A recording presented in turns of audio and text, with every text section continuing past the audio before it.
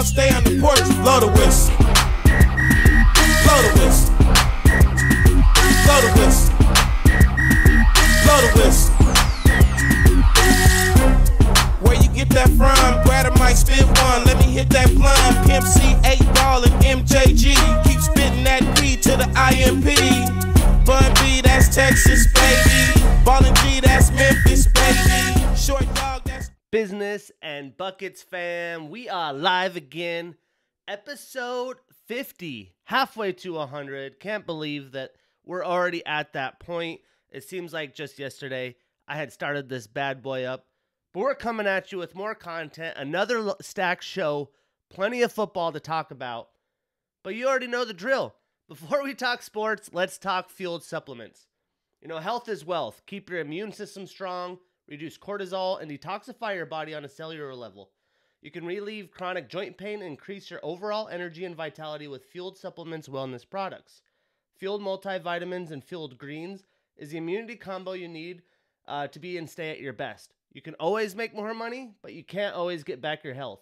Start today and save a little cash when you invest in yourself and your future by using my promotion code BUCKETS for 15% off everything at fueledsupplements.com, the best place on the web for sports and wellness products. Once again, promotion code BUCKETS, B U C K E T S, for 15% off at fueledsupplements.com. Shout out Fueled Supplements. I'm looking at booking a trip to Vegas uh, in December. Uh, my best friend from Montana wants me to go to the National Rodeo Finals. Within that, Fueled Supplements, Josh and crew are going to be out there. Get them on the pod, get some business editions going so you can see the men behind the scenes of the one and only sponsor here at Business and Buckets. Well, let's jump right in because we got a ton to cover in the NFL front. Uh, last week, we talked a little bit about, you know, it's an odd number of weeks this year with an additional week in a week 17. Uh, doing kind of a quarter review, getting some pulses on teams, giving you guys my thought process there. But let's talk some headlines as injuries is really the name of the game again thus far in the NFL season. One of the more interesting ones, the Pats come out and say, I think it was the next day, like Wednesday or Thursday morning last week, that they're going to cut Stephon Gilmore, ex Pro Bowl cornerback. Everyone knows Stephon Gilmore has done really well in his NFL career. And then they turn around and trade him for a sixth round pick, expected to be ready for uh, week seven for the Carolina Panthers, which would be next week. They had also traded for another corner uh, because of injury with J.C. Horn, the the stud rookie on the team, and they're trying to stay relevant, keep that defense short up. So st- insert Stephon Gilbert or Gilmore. I'm assuming that has to be with, oh shit, the Patriots are going to cut him. Let's see what you know the bottom offer we can get to trade him, so that he's not on the free agency market. We could get him uh, on the squad. Awesome offensive lineman in the injury report. Trent Brown going to the IR and Frank Ragnar, uh, Ragnow for the Detroit Lions going to the IR as well, but he is announced to be out for the season. Uh, Quintez Cephus, the receiver that's kind of broken out, is Jared Goff's favorite uh, target on the Lions, also on the IR with a broken collarbone. My fantasy guy, Clyde's Edwards Helaire, heading to the IR for the Chiefs. Uh, potential rumors of him, them trading for Marlon Mack to shore up that uh, depth chart. They do have Jerick McKinnon and um, Darrel Williams, the typical backup, but neither of those guys jump off the paper. I'm sure the Chiefs are thinking the same thing, and especially in the hole that they have themselves, they need to find somewhat of a running game. Insert Marlon Mack, who looked great this past week for the Colts.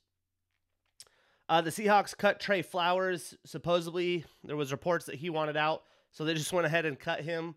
Um, you know, the defense has not been the Legion of Boom any time of recent. Uh, you take away Trey Flowers, it's just another piece that they'll be missing. The Saints released Brian Poole and Desmond Trufant. Two guys uh, had played for a long time, divisional team uh, with the with the Falcons. Obviously, at the latter half of their careers, the Saints don't seem like they're that interested. Their defense has played well, so they released those guys. But potential names to be looking at for additions on other teams. For the Arizona Cardinals, big week, uh, big game this week against the Browns that we'll talk about later. But Chandler Jones going on the COVID protocol, not expected to play this week for a team that's undefeated, very highly thought of thus far in the NFL. Potential, you know, number one in power rankings, team that people think might be able to win that division. They're going to be without him. And then Will Fuller on IR just made his appearance back with Miami. all the issues Miami are having with Tua, the quarterback situation. Now you put in the receivers. Will Fuller be out for some time? The Washington football team will be out without Logan Thomas, the stud tight end that, especially in the fantasy world, you had expected to have a breakout season this year. Really hasn't quite blossomed into that. Uh, the Packers add Jaylon Smith after he was cut from the Cowboys. The big contract that he earned, the lack of performance in his play, the Cowboys just clean their slate. The Packers adding him as they have a bunch of defensive injuries themselves. Uh, George Kittle to the IR for the 49ers. The 49ers, you know, really live in their offense through their offensive line. They've gone through all those running back injuries. George Kittle, a very good blocking tight end, that's definitely going to add to it. And especially with um, Jimmy Garoppolo recovering from injury and Justin Fields getting hurt this past week, but they do enter a bye week, but he'll be on the IR, which again this year is a three week minimum within the new rules. For the Chargers, Ryan Bulaga undergoing core muscle surgery, so I don't expect him back for the Chargers. Best case scenario, late season, potentially playoffs, but he's a, a big name that they signed to that offensive front to keep Justin Herbert up and standing. Obviously, the Chargers have been playing pretty well without him, but that's a huge piece that they'll be missing most of the year, if not the whole season. Jimmy G should be good for the 49ers out of bye week if um, uh, Trey Lance isn't able to play. They expect him to be able to come back and, and start for the team. It'll be interesting to see what the situation is if both quarterbacks are healthy, who they start. Obviously, Jimmy Garoppolo was the unheralded starter. He ended up getting hurt. They put Trey Lance in. The 49ers admittedly said that they weren't prepared to have Trey Lance being the starting quarterback. So potentially Jimmy G just takes the job again. The Rams put Darious Williams on IR as they lose another body. The Bears add Germain Ifedi to the IR, which isn't great for Justin Fields as he's trying to, you know, get his legs under him in, the Chicago offense. Maybe not necessarily his legs, but maybe the offensive coordinator, the play calling and situations that just adds more wrinkles to their plan. The amazing offensive lineman for the Texans, Laremy Tunsil, is going to have thumb surgery and expected to miss at least four weeks until Tyrod Taylor's back. Uh, that's not good news for Mr. Davis Mills, who had his best week as a starting quarterback for the Texans this week. The Bengals put Trae Waynes on IR, uh, an amazing guy that they got off free agency that's played well for him. Uh, is going to hurt that secondary and defense. The Jaguars place their center Brandon Lighter on IR for an already a team that's winless, a team that's having issues up front, and obviously having their franchise quarterback as a rookie now has less protection uh, there isn't expected to be a ton of differences here, but your starting center is never a good piece to lose. Sadly, Juju Smith out for the year with the shoulder injury for the Steelers. As a Steelers fan, this is a little close to my heart and something I do want to elaborate on. Juju had offers to get paid better elsewhere, wanted to run it back for the year with Pittsburgh, you know, attempt to bring Ben Roethlisberger back to the glory land and, and give the Steelers everything he had as the salary cap issues with COVID was happening. Um, you know, he wasn't going to get a fat contract that he felt like he deserved. His playing time hasn't been, you know, what it was the, his rookie breakout season. He's not running the same routes. We're making him do the dirty work. He, you know, is willing to do it. He is a little Hines Ward esque with his physicality, his dependability, his great hands. There's just a lot that he brings to the table. And it's a bummer that he doesn't get to finish the season, as that might have been his last game in a Pittsburgh Steeler uniform. And if that's the case, Juju Smith, we love you. We'll always respect you. Please just don't go to the Baltimore Ravens. We know they had interest in you in the offseason, potentially with the draft of Rashod Bateman, who should come back soon to the Ravens. They won't be interested in him, but you know what a player for the Steelers. Um, they don't usually give a lot of receivers, you know, multiple contracts. But if there was a guy that deserved it, Juju definitely is deserving. With that, the Steelers signed Anthony Miller, the ex second round draft pick, to the practice squad. A guy that's been, you know, on sleeper fantasy reports for years. that's been around the league. Uh, they get him on the practice squad for depth in case there's other injuries. But a guy that might be able to fit in the system and earn his way uh, up the depth chart for for a team that is pretty stacked at the receiving core. But Anthony Miller definitely has shown potential and hasn't been in the best quarterback situations, so maybe he finds his chance to shine here in kind of uh, more uh, lurky news, so to speak, uh, Jon Gruden out as the Raiders coach. Assistant Rich Bisaccia is expected to be the interim coach. I have mixed emotions about this. Um, obviously, there was the investigation, the emails had come across uh, with Jon Gruden's language. I've heard lots of different takes on this. I try not to get into the politics of sports, but this is big news as the NFL and the world we live in is ever changing. Um, I had talked about the Dave Chappelle, the closer episode, uh, his last stand up special on Netflix that he's gotten a lot of harsh feedback from. You know, my opinion doesn't matter here. I'm not big of a name that anyone really cares for my opinion, but in the world we live in, it's obviously more of a censored world. I, I did have mixed emotions for this. You know, it's a shame that we're going out and finding things that happened a decade ago, like myself, what I had done when MySpace was a social media platform, early Facebook days, I have no idea. You know, I've obviously evolved and changed in that time, and I feel like other people do as well. You know, what he's done is definitely unacceptable. The league is a changing place, and I think um, what what really interests me out of this more than anything is the Washington football team situation with Dan Snyder, where the NFLPA said they were going to uh, do a petition to have the NFL release all those emails but supposedly the league is saying that they're not going to. So where there's smoke, there's fire. There's a lot of interesting things in here. I'm sure Gruden's not going to be the first one, but I felt like he took the hit in involvement of a bigger issue, and that's the NFL owners, which is, definitely an issue here. Um, you know, you Keyshawn Johnson definitely had a lot of backlash for Jon Gruden there, but uh, it's just a crazy world we live in. Definitely mixed emotions within this, uh, but the league is changing, and I'm sure this will not be the last domino to fall. Um, the NFL obviously announced we had talked about it on this show that there'll be Monday night wildcard games in the future of playoffs, and ESPN has landed a five-year deal with them. They do Monday night football. I'm not sure if this was a bidding war or if they had you know approached ESPN as the first opportunity to cover these games, but Monday night games will be staying with ESPN and the playoff ones upcoming uh, in the future. And obviously, I talked about Trey Lance having the knee sprain. He isn't expected to miss much time, but I'm interested to see what happens with that quarterback situation. My preseason prediction if you are a weekly business and bucket listener or viewer on YouTube, I had given Kyle Shanahan coach of the year. I'd pick the Niners, you know, ideally in a healthy season or healthier season to the Super Bowl and winning the NFC West. Actually, I can't remember if I had them winning the NFC West or not. Regardless, um, I thought it was going to be a hybrid quarterback situation, have game uh, scripts where Jimmy G's the starter. You know, he has his types of uh, play calls, and then Kyle Shanahan would mix in Lance with specific runs, outside zone reads, RPOs, things of that nature to keep the defense on their feet. So maybe this is a good chance for him to be able to get back to that, as both quarterbacks should be back uh, at least the week after the bye or the week after, or the week, yeah, week seven coming after the bye, or maybe week eight we will see what Kyle Shanahan has in store for us. But let's talk week five in the NFL. I remember, you know, it's the the winter of, of Seattle, the fall, whatever you want to call it. What that means is most of the day it's cloudy, cold, and gray. It's not necessarily raining, but it's gray in the sky. It looks like it's going to rain. Sometimes the sun comes through, sometimes it doesn't. But for a weekend, it was a good weekend to be in sports.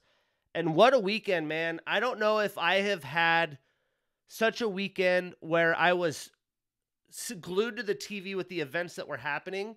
And it goes a lot further outside of um, the NFL games. We'll talk about college football afterwards, but it started Saturday morning with the Red River, going into the Wilder um, Fury trilogy into Sunday, and then even into the Monday game with the Ravens and Colts. Everything was fantastic, and it, it was a perfect time for sports fans this past weekend. Well, we uh, we got started off with the Seahawks versus the Rams on Thursday night. Um, obviously, I had picked the Rams in this game. The Rams were able to take on the road victory. And the storyline here Russell Wilson having the injury. You could see the finger instantly. Uh, like this middle section was sticking out.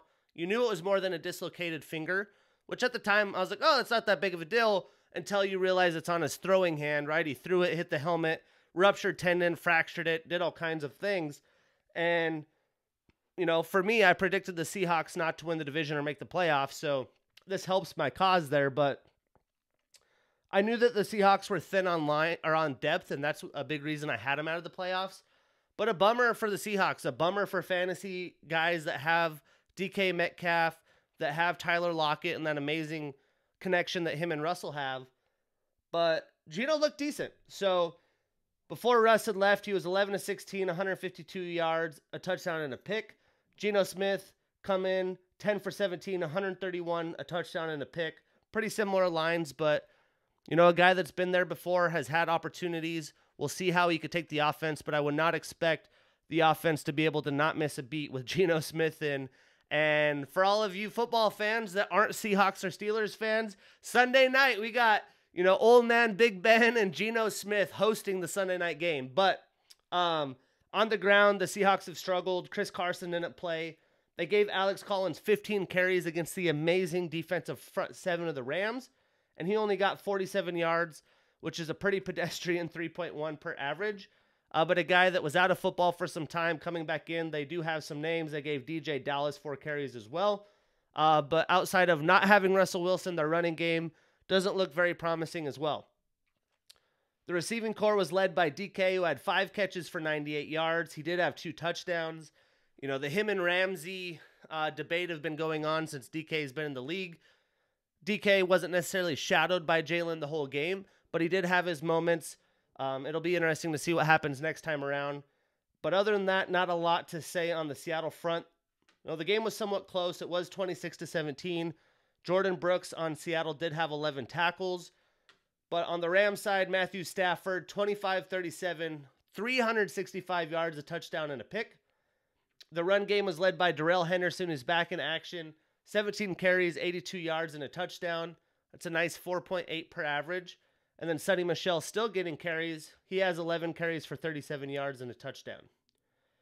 Everyone was wondering well, the Cooper Kupp connection with Stafford has been great. But where the hell is Robert Woods? Well, Robert Woods is back. You know, they said there was no issues. He, he was doing his job. He comes into work ready and prepared. Well, obviously there was a either a mismatch in the defense or the idea that we need to get him the ball more. He gets 12 catches, 150 yards on 14 targets. Cooper Kupp still pitching in, seven catches, 92 yards, and then DeSean Jackson gets hit on a deep ball. He only has one catch, but for 68 yards the old man could keep on playing. I mean, how old is DeSean?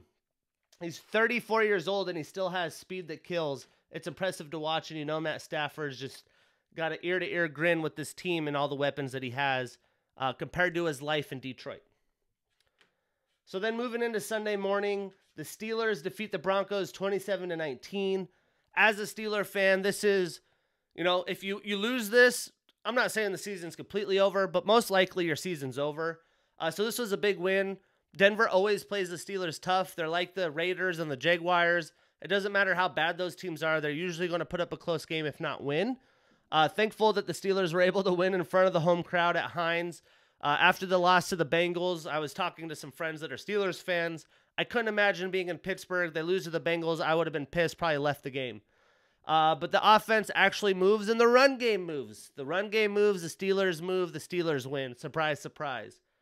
Well, Big Ben goes 15 to 25, 253 yards and two touchdowns for 120.9 rating.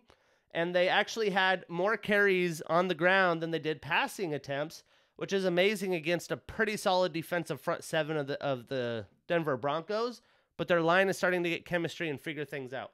Plus the potential return um, of Zach Banner onto the front uh, front offensive line potentially is very intriguing for for the Steelers. But how about Najee, man? 23 carries, 122 yards, and a touchdown, 5.3 per average. And that's exactly what they drafted the guy that has talent. But outside of that, he also had two catches for 20 yards. So he was all over, but it was nice to see that there wasn't 14 checkdowns from Big Ben. That's not going to be a game script that wins for you. Um, on the receiving core, Chase Claypool leading the team, five catches, 130 yards, and a touchdown. Uh, Diontae Johnson with only two, but had 72 yards and a touchdown at the start of the game. First drive, nice deep ball right over the corner for uh, Denver, landed right in the breadbasket for Diontae for the walk-in touchdown. On the um, Denver front, Teddy Bridgewater did play. He was in concussion protocol. Obviously, the offense is the same with Drew Lock uh, behind center. So Teddy goes 24 uh, 38, 288 yards, two touchdowns, and a pick for a 92.9 rating. And then Javonte Williams with eight carries for 61 yards, while uh, that was split with Melvin Gordon, who had nine for 34. Javonte averaged 7.6 with a long run of 49 yards, while Melvin only got 3.8 per average. And then Courtland Sutton was the show. You know, no Jerry Jeudy. They had no Fant blocking uh, from the edge rush of Pittsburgh, Pittsburgh most of the day. You know, Teddy just coming off concussion protocol. You got to give that extra protection. So Noah Fant was more of a blocker than receiver. Uh, plus some of the other names that they're missing in the receiving core. Courtland Sutton's able to play seven catches, 120 yards, and a touchdown. And then Tim Patrick having seven for 89 as well. Um, Fitzpatrick did have 10 tackles for the Steelers, which was impressive. Uh, Devin Bush with the big time sack. And then Malik Reed had a, a sack force fumble that Ben had had. Other than that, statistically, the Steelers go 7 to 12 on third, while the Broncos have a bad tw- 2 for 12. Uh, total yards for Pittsburgh 391 to Denver's 374, and both teams had a turnover, but the Steelers led time of possession by seven minutes. The Pittsburgh Steelers back in the win column. Not saying their season's revived, but it's alive. So then we have the London game, Jets versus Falcons. It's actually a close game, 27 to 20. Not as close as the score was closer than the game actually was, in my opinion. Even though I didn't wake up at six or whatever, 6:30 uh, to watch the start of this game. But Port London always getting losing teams um, uh, for their for their games. But Matt Ryan, Matty Ice, the veteran performing 33 of 45, 342 yards and two touchdowns for 109.7 rating. And outside of him, you know, no Calvin Ridley, obviously no Julio Jones. Well, Corder, Cordarrelle Patterson, what in the hell don't they have him doing? He did attempt to pass, even though it wasn't complete. He ran the ball 14 times for 54 yards, which is right under a four average. And then he also had seven catches for 60 yards. This guy is the Atlanta Hawks, uh, uh, Atlanta Falcons offense, and a guy that's been on multiple teams that has been tried to use as a Swiss Army knife. Insert the Falcons head coach from Tennessee. He finds a way to make it happen. He did lead the team with rushing, although Mike Davis did have 13 carries for 53 yards and a touchdown. Um, you know, he hasn't had a very good per average or a very good burst onto the scene, so to speak leading receiver for the Falcons, the rookie Kyle Pitt, Pitts, finally has his coming out party. Nine catches, 119 yards, and a touchdown on 10 targets. And on the Jets offensive side, what a rough outing here. Zach Wilson, um, you know, welcome to the league, welcome to London. He goes 19 to 32, 192 yards and a pick for a 63 rating. The rushing game is really non existent. Michael Carter leads with 10 carries for 38 yards and a touchdown. And Corey Davis, the leading receiver, with only 45 yards. So, tough day at the office for the Jets offense. Statistically, the Falcons go 9 of 14 on third, the Jets 5 of 10. The Falcons outyarded them by 220 yards. Uh, they had two more uh, two turnovers to the Jets one but out outpossessed the Jets by 11 minutes. The Falcons go two and three. The Jets stay at one and four. A fun um, early Sunday game between the Packers and the Bengals. As the Bengals showing that they're scrappy, they're they're capable of winning against solid teams. Well, at home, it took overtime and a bunch of missed kicks in this game, but the, the Packers win 25 22 in overtime. Aaron Rodgers, 27 to 39, 344 and two touchdowns and a pick. Aaron Jones on the ground with 14 carries for 103 yards, which is a nice 7.4 average. AJ Dillon got eight carries as well. And then the leading receiver, you already know, a guy that could do anything he wants with Aaron Rodgers. Both guys' potential going to new teams next year would be fun if they matched up, especially if they ended up in Pittsburgh. Wink, wink. Uh, but Davante Adams, 11 receptions, 206 yards, and a touchdown on 16 targets. For Cincy, Joe Burrow, 26 to 38, 281 yards, two touchdowns, also had two picks. And then the leading back, no Joe Mixon, but Samaje Perine, the ex Sooner, 11 carries, 59 yards for a 5.4 average. And Joe Mixon with 10 carries, 33 yards, and a touchdown. Now, Joe Burrow has a very familiar face in the offense, and he has definitely been clicking. Uh, the two LSU teammates really pop off. Ja'Marr Chase, six catches, 159 yards, and a touchdown. After all those offseason headlines about drops, if you're a fantasy guy that drafted Ja'Marr Chase, you must be happy. Um, I'm sure the ADP to what he's performed has been a very nice ratio. On the defensive side of the ball, Trey Hendrickson, the free agent sack leader from New Orleans last year with two sacks for Cincinnati, a guy that you still don't hear a lot about that keeps performing, keeps balling out, and shows it wasn't a one hit wonder. And um, uh, Chidobe Awuzie from the Cowboys gets a pick in this game. De'Vondre Campbell and Adrian Ramos with a uh, interception for Green Bay. Statistically, the Bengals 5 of 14 on third down, the Packers 4 of 11 on third down, and the Packers outyard the Bengals by 100, and the time of possession is pretty even. The Bengals win by a minute. But the Bengals 3 and 2, a little surprise early season. We'll see if they could keep it up. I'm not betting on them being a top team in the NFC North. So then we have Lions Vikings. The Vikings damn near lose this game, but escape with a 19 to 17 win. A loss here would have been very detrimental, especially at home with a divisional foe and a winless foe at that. Well, Kirk Cousins, 25 of 34, 275, a touchdown and a pick. No Dalvin Cook, but they have many Dalvin Cook look-alike. Alexander Mattison with 25 carries for 113 yards. That's a 4.5 average.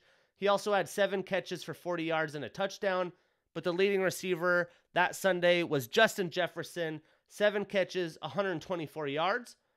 On the Detroit side of ball, Jared Goff, another pretty rough outing, 21 of 35, 203 yards and a pick. Um, the running game, they did get 24 carries, but only 108 yards, which is a 4.5 average. And D'Andre Swift stealing the touchdown. Him and Sw- uh, Jamaal splitting carries. And the leading receiver here was uh, Amon-Ra St. Brown, seven catches, 65 yards. We talked about Cephus being out. Um, so maybe St. Brown takes over as TJ Hockenson continually deals with double teams. On the defensive side of the ball for the Vikings, Everson Griffen with two sacks, uh, Danielle Hunter with the sack uh, himself as well. And then statistically, the Vikings 5 of 13 on third down, the Lions 3 of 11. Pretty yucky game offensively. The Vikings did outyard them by 100. They both had two turnovers, but the Vikings had a five minute time of possession advantage. So then, as we move on to other Sunday morning games, the Buccaneers blow out the Dolphins. I don't think there's a ton of surprise there. Jacoby Brissett still starting for the Dolphins. It was 45 to 17, and Tom Brady breaking his own records because what record does the GOAT not have at this point? He goes 30 of 41, 411 yards, and five touchdowns. They blew him out so bad that Blaine Gabbert had a couple uh, shots on the field. He was three for three, 41 yards. Uh, Leonard Fournette leading the backfield seems to be the lead back. 12 carries for 67 yards and a touchdown. That's a 5.6 per average. And then AB Antonio Brown continuing to gain chemistry in this offense with all the offensive weapons in the receiving core. He has seven catches, 124 yards, and two touchdowns. And Mike Evans wasn't far behind six catches, 113 yards, and two touchdowns. On the Miami side of the ball, Jacoby Brissett trying as hard as he can, 27 to 39, 275 yards, two touchdowns, and a pick.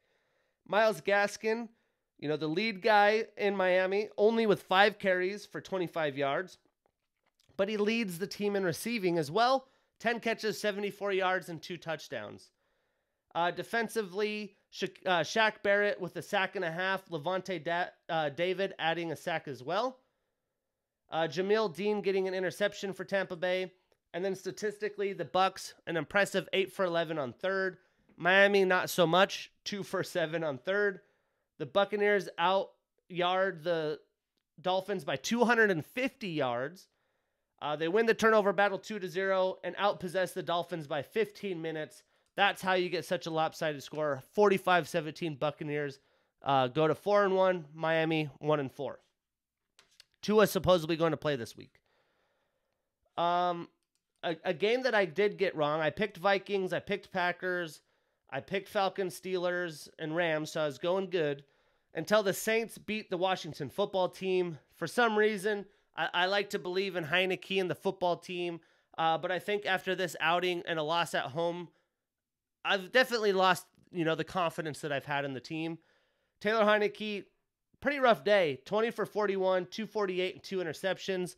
You know, the the New Orleans defense is solid, but 20 for 41 and two picks, I mean, yeah, it's not looking good. Antonio Gibson gets a whopping 20 carries, Only manages 60 yards, which is a three per carry average. Not very good. Does get two touchdowns on the ground, saves fantasy owners' asses. And then the leading receiver, old Adam Humphries, with three catches for 73 yards. I mean, Adam Humphries has been all over the place. A guy you don't hear much about uh, at this stage of his career. I mean, let's look at it.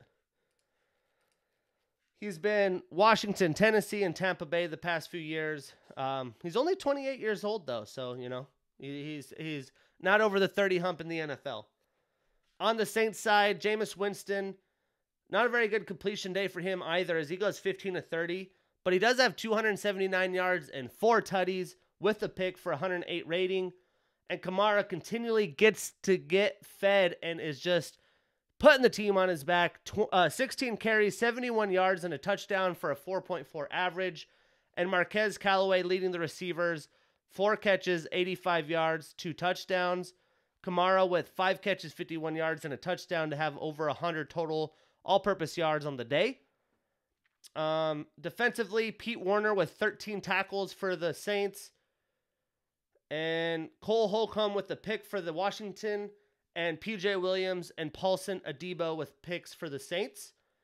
The Saints go 4 of 11 on third, Washington 5 of 16, so neither impressive there. The Saints or the Washington football team out yards the Saints by 4 yards. They both have two picks and Washington outpossesses the Saints by 13 minutes. Which makes you wonder statistically like okay, how the hell did they win? There was no crazy touchdown, special teams. But really, at the end of the day, um, they struggle on a per uh, yard average and go 5 of 16 on third down. Saints win 33 22. Moving on, we got Eagles Panthers, another game I didn't pick right. You know, I was high on the Panthers, one of the only people I saw to pick the Panthers in, into the playoffs. It's going to be interesting to see how the season unfolds but a tough road bump for them on Sunday. Sam Darnold looking like a jet stat line 21 for 37, only 177 yards, which is a 4.8 per pass average, a tack or a touchdown and three picks for a 44 and a half rating. Chuba Hubbard says CMC who? He gets 24 carries for 101 yards. He also has 5 catches for 33 and the leading receiver DJ Moore again, but only 5 catches for 42 yards. For Philly, Jalen Hurts puts the team on his back 22 at 37, 198 yards and a pick, and has nine carries for 30 yards and two touchdowns on the ground. While Miles Sanders has the most carries, 11 carries for 45 yards for a 4.1 average. Decent ga- uh, day um, game on the day. You would think that he would have more rushes, more yards when they're playing on, uh, um, from the lead most of the game. Leading receiver DeVonta Smith Old Alabama teammates, he goes seven for 77. But offensively, somewhat of a yucky game. Uh, DeVonta does have a fumble. Jeremy Chinn recovers. Defensively, Alex Singleton, man, talking about him every week. Double digit tackles. He gets 14 on the day, with 10 of them being solo. The uh, Eagles' defensive front, with all the injuries, gets three sacks on the day. Dontae Johnson for um, Carolina with the pick. Darius Slay, and ex Steeler, Steven Nelson with picks as Dar- Darius Slay gets two on the day. Statistically, the Panthers are 5 of five, 15 on um, third down. The Panthers 4 of 13. And yards are pretty much damn near even. The Eagles out yard the Panthers by six, but they win the turnover battle uh, by one, as Panthers have three turnovers to Eagles two. And the Panthers do outpossess the Eagles by 11 minutes, but still take the L on the day. Tough loss for them. Tough day in the office for Sam Darnold. It'll be interesting to see how they rebound this week. The Jaguars, you know, getting close to finding wins, but not so close this Sunday as the Titans rout the, Jaguars 37 to 19. Ryan Tannehill not having to do much, 14 to 22, 197 and a touchdown. But King Henry willing the Tennessee Titans as he does on a week to week basis. 29 carries, 130 yards for a 4.5 average and three tutties on the day. Marcus Johnson, Marcus Johnson, though, the leading receiver, three catches, 52 yards, AJ Brown with only three and 38 as um, Julio Jones still hasn't, you know, recovering from injury. Still makes you wonder what's up with AJ Brown in this offense. You would think they would get his number called and purposely try to get him the ball. For Jacksonville, Trevor Lawrence, decent day, 23 for 33, 273 yards, a touchdown, and a pick. And James Robinson, trying to match Derrick Henry's output, gets 18 carries for 149 yards, but an amazing 8.3 per rush average and a touchdown. And Dan Arnold, the, the newly acquired tight end, leads the receiving core for Jacksonville. Six catches, 64 yards. On the defensive side of the ball, David Long Jr. with 12 tackles, a tackle for a loss, and Kevin Byard with 10 tackles and two passes defended. The Jaguars get three sacks, while Harold Landry somehow managing two sacks to himself as a linebacker for the Titans. Statistically, the Jags 3 of 10 on third down, while Tennessee is 5 of 11.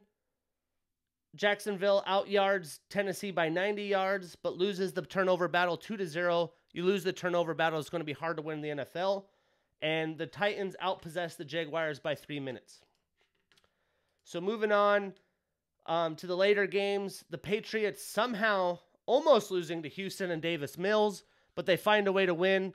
You know, usually rookie quarterbacks and Bill Belichick, it's a lopsided affair. But Davis Mills almost pulls this this bad boy off. He goes 21 to 29, 312 yards and three touchdowns for 141.7 rating. It'll be interesting to see if, you know, things have started clicking for him or what's going on. But without Laremy Tunsil and just the pieces he has to deal with, I'm going to say it's, it's he's probably in for more than he wants. Mark Ingram does get 16 carries, but only a 41 yards on him, 2.6 per carry average, and his long run is 8 yards. That backfield's just a mess. Phillip Lindsay had 5 for 19, David Johnson 2 carries, but the whole team had 24 carries for 67 yards and a 2.8 average. Tough, tough day sledding. The leading receiver, pretty awesome story for this guy. Chris Moore, 5 catches, 109 yards and a touchdown. I mean, this guy has been everywhere. Um, he hadn't played in 2020, was playing on practice squads, got signed to Houston, and ends up snapping against um, the Patriots of all teams, who has, has a solid defense. He went to college at Cincinnati, so it's not like he was ex teammates with Davis Mills, but it'll be interesting to see if, you know, he might be an unheralded gem that the Texans had found. For the Patriots, Mac Jones, 23 of 30, 231, a touchdown and a pick. He continually puts up pretty good stat lines on the season in his rookie year, the most consistent rookie for sure. And Damien Harris has 14 carries for 58 yards and a touchdown. I believe he ended up getting hurt in this game. So Rhamondre Stevenson from Oklahoma, 11 carries, but only 23 yards for a 2.1 average. Harris, you know, questionable to play this week, but it'll be interesting to see what happens here and if Stevenson could get some momentum going because 2.1 isn't going to give you the job. And then leading receiver Hunter Henry, six catches, 75 yards, and a touchdown.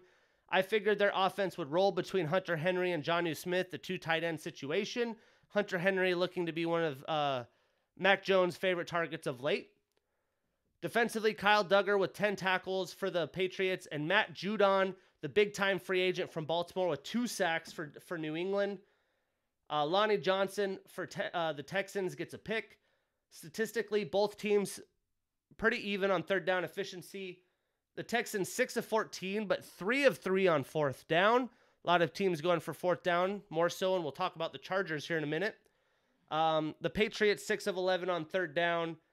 Yardage wise, um, the Texans out yard the Patriots by 8, but lose the turnover battle 2 to 1 and are outpossessed by about a minute. So I did get that pick right. We have Bears upsetting the Raiders. Didn't get this one right. That defense just smothering the offense of the Vegas. And what a tough week to lose at home against the Bears, the Jon Gruden situation. You know, they were undefeated about a week ago and everything was looking bright. And here we are with a, a, a dark future ahead for the Vegas Raiders. Derek Carr, 22 at 35, 206 yards and a pick for a 67 rating. Josh Jacobs does play. He's been battling injuries all year, much like his career in the NFL. 15 carries for 41, 48 yards. It's a 3.2 average with a touchdown. Um, receiving wise, Hunter Renfrow leading the crew, six catches, 56 yards. Waller only had 45 yards. You would think a team that only scores nine points tries to get him the ball. But the Bears defense, the Bears defense said, nah, bruh. Um, Justin Fields getting another start in his rookie season 12 of 20, 111 yards, and a touchdown. The backfield with David Montgomery out for some time, split between Khalil Herbert and Damien Williams. Khalil has 18 carries to Damien 16, uh, has 75 yards to Damien 64. Herbert averages 4.2 per carry. Damien 4, but Damien did get the touchdown. And leading receiver, although not many people having a big day in the Bears receiving core, Darnell Mooney, three catches, 35 yards. And I was like, okay, you know, Damien Williams has been battling backup situation since coming out of Oklahoma. Obviously, being an Oklahoma fan, I'm always rooting for him. He had really big seasons for the Sooners. I figured he'd have the the, the lead cow situation. But no, insert Khalil Herbert, the rookie out of Virginia Tech. I usually watch Virginia Tech here and there, and they have big, meaningful games, but I don't remember him at all. But he has himself a, a day, and it seems like it's going to be a running back by committee situation in Chicago. A guy we're always talking about defensively for the Bears, Roquan Smith with 10 tackles. They ended up getting three sacks on the day against the Raiders, and DeAndre Houston Carson with a pick. Um, on the Raiders defensive side of the ball, Denzel Perryman, the tackling machine, he gets 12 tackles and a QB hit. Yannick Ngakoue, the free agent from Baltimore, with two sacks on the defensive line. Or was it Baltimore? Because he had one year in Baltimore from Jacksonville, right? One year in Baltimore from Jacksonville. Cool. Just had to double check. You say something in sports nowadays, you, you get held accountable. The internet tells you if you're right or wrong, right? Uh, it's no hypotheticals like it used to be when I was a kid. Anyway, statistically, the Raiders 5 of 14 on third. Uh, the Bears 6 of 13. Not a good day offensively. The Raiders actually outyard the Bears by seven yards, lose the turnover battle 1 0, and are outpossessed by five minutes. The Bears, 3 and 2, sneakily right there in the NFC North. And then the game of the fucking week. What a game this was. And I was so for it because I had Mike Williams with the heyday. But the Chargers 47 uh, defeat the, the Browns 42. This was a game that I was back and forth on picking. Ended up taking the Chargers, even though they don't have much of a home field advantage. But they delivered. Justin Herbert, 26 of 43, 398 yards and four touchdowns. And for two teams that think pretty highly of their defense, there was absolutely no defense. This was literally a Madden game. I felt like I was watching a Madden game. And Austin Ekeler continuing to run the ball pretty well. 17 carries for 66 yards and two touchdowns. Uh, Herbert had 29 yards rushing himself and a touchdown on the ground. So five touchdowns for Herbert on the day and 122 quarterback rating. And then the leading receiver, my still in my fantasy draft, Mike Williams, eight catches, 165 yards, and two touchdowns. He had a lone re- or long reception of 72 yards. On the 49 yard touchdown, there was absolutely nobody in coverage. A guy that's killing you with 16 targets in the day. You would think that you'd play fucking defense on him or have the safety shadow his side of the ball, but it wasn't done. He eats. Uh, Austin Ekeler did have a lost fumble. For the Browns, Baker battling the shoulder injury, playing pretty good ball. 23 to 32, 305 yards and two touchdowns with 122.5 rating. And Nick Chubb and Kareem Hunt just eating on the ground. The dual combination from the running back stable. Nick Chubb, 21 carries, 161 yards, which on 21 carries averages 7.7 per carry and a tutty uh, with a 52 yard run in the game. Kareem Chunt, Kareem Chunt, tongue twister, I guess. Kareem Hunt, 12 carries, 61 yards, two touchdowns. And then on the receiving side, David Njoku with a breakout game. We haven't heard a lot of them this far in the season. He has seven catches, 149 yards, and a touchdown. Half of those on a long, a long reception of 71 yards. On the defensive side of the ball, uh, Greedy Williams with 10 tackles. We've talked about multiple weeks. You have corners that have that many tackles. It probably means the other team's receivers are eating down the field, which was definitely the case in this game. And then Derwin James, man, we've all wanted to know what this guy can do in the NFL. To, you know, rookie season injuries, second season injuries. He's here this year 17 tackles, a sack, a tackle for a loss, and a QB hit. This guy is going to be a game changer. Him and Bosa together is a dynamic duo, that's for sure. And then Drew Tranquill with 11 tackles himself on the day.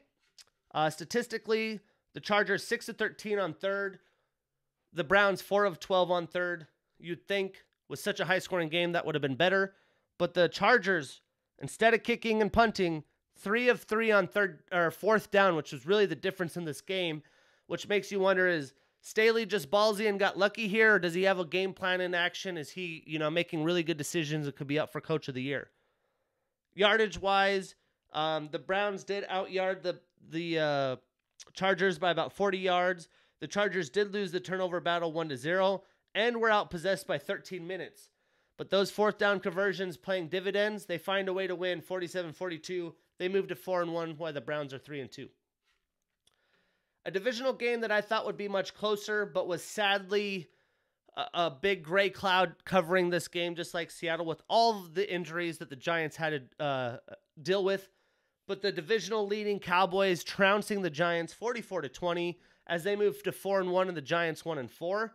And after all the momentum the Giants created last week, all the injuries just shuts that down. For the Cowboys, Dak Prescott 22 of 32, 302 yards, 3 touchdowns and a pick. That's my quarterback. My fantasy team's name is Dax my boy, so keep it coming. Uh, Ezekiel Elliott getting fed 21 for 110 yards, which is a 5.2 average for a tutty. Tony Pollard still staying in the mix as he gets 14 carries for 75 yards and a 5.4 average himself. The leading receiver on the day, CeeDee Lamb, four catches, 84 yards, and a touchdown. For the Giants, uh, Daniel Jones doesn't last very long, so Mike Glennon comes in, 16 to 25, 196 yards, a touchdown, and two picks. And then Devontae Booker, 16 carries, 42 yards, and a touchdown as Saquon Barkley leaves early with a re injured or sprained ankle situation.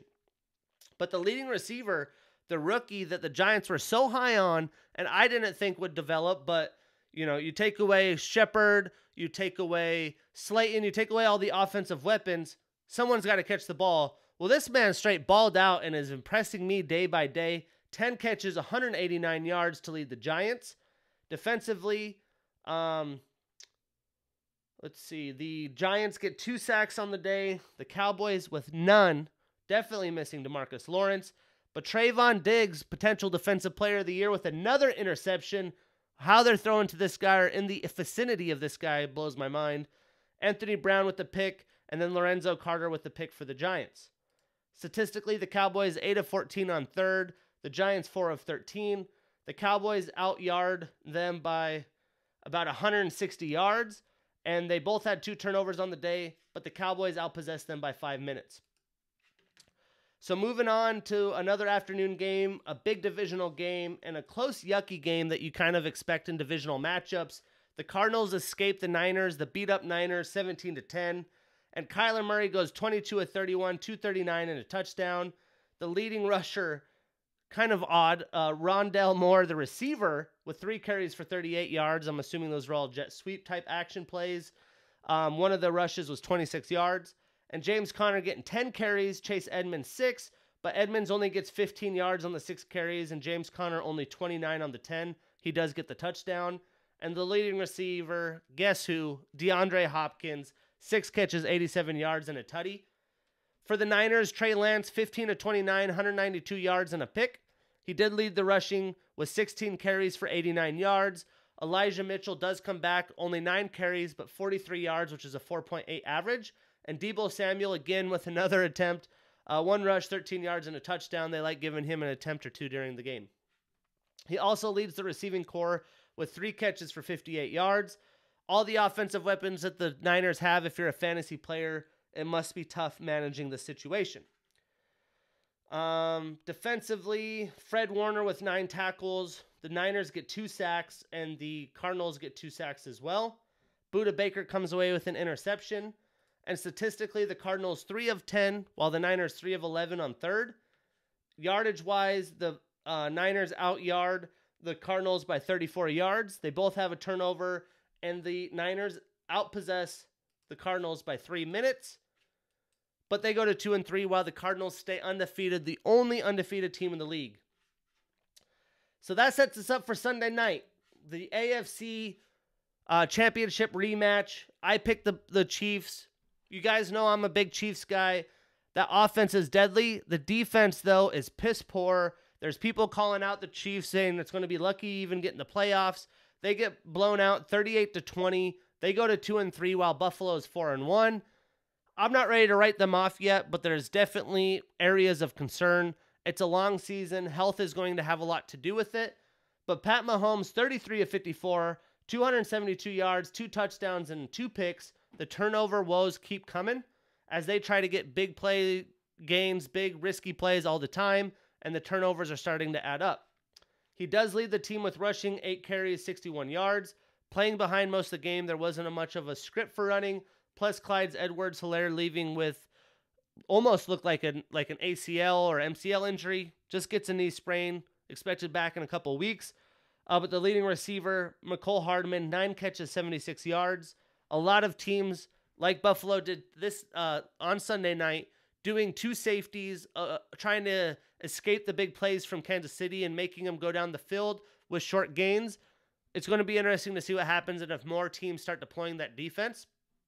But if you're a team that's in this situation, you have Pat Mahomes, you have the cheetah Tyreek Hill, you have Travis Kelce, you have um, Reed. I'm sure they'll figure out a way to win on, on the offensive side.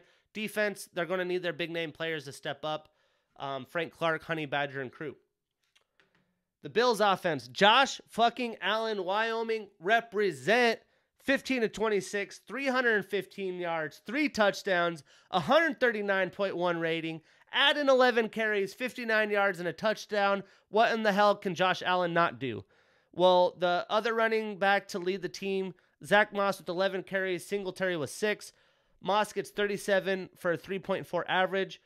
Singletary gets 25 on those six carries for 4.2 average. Those guys are still around the split it, but it seems like Moss is becoming the fa- uh, popular guy.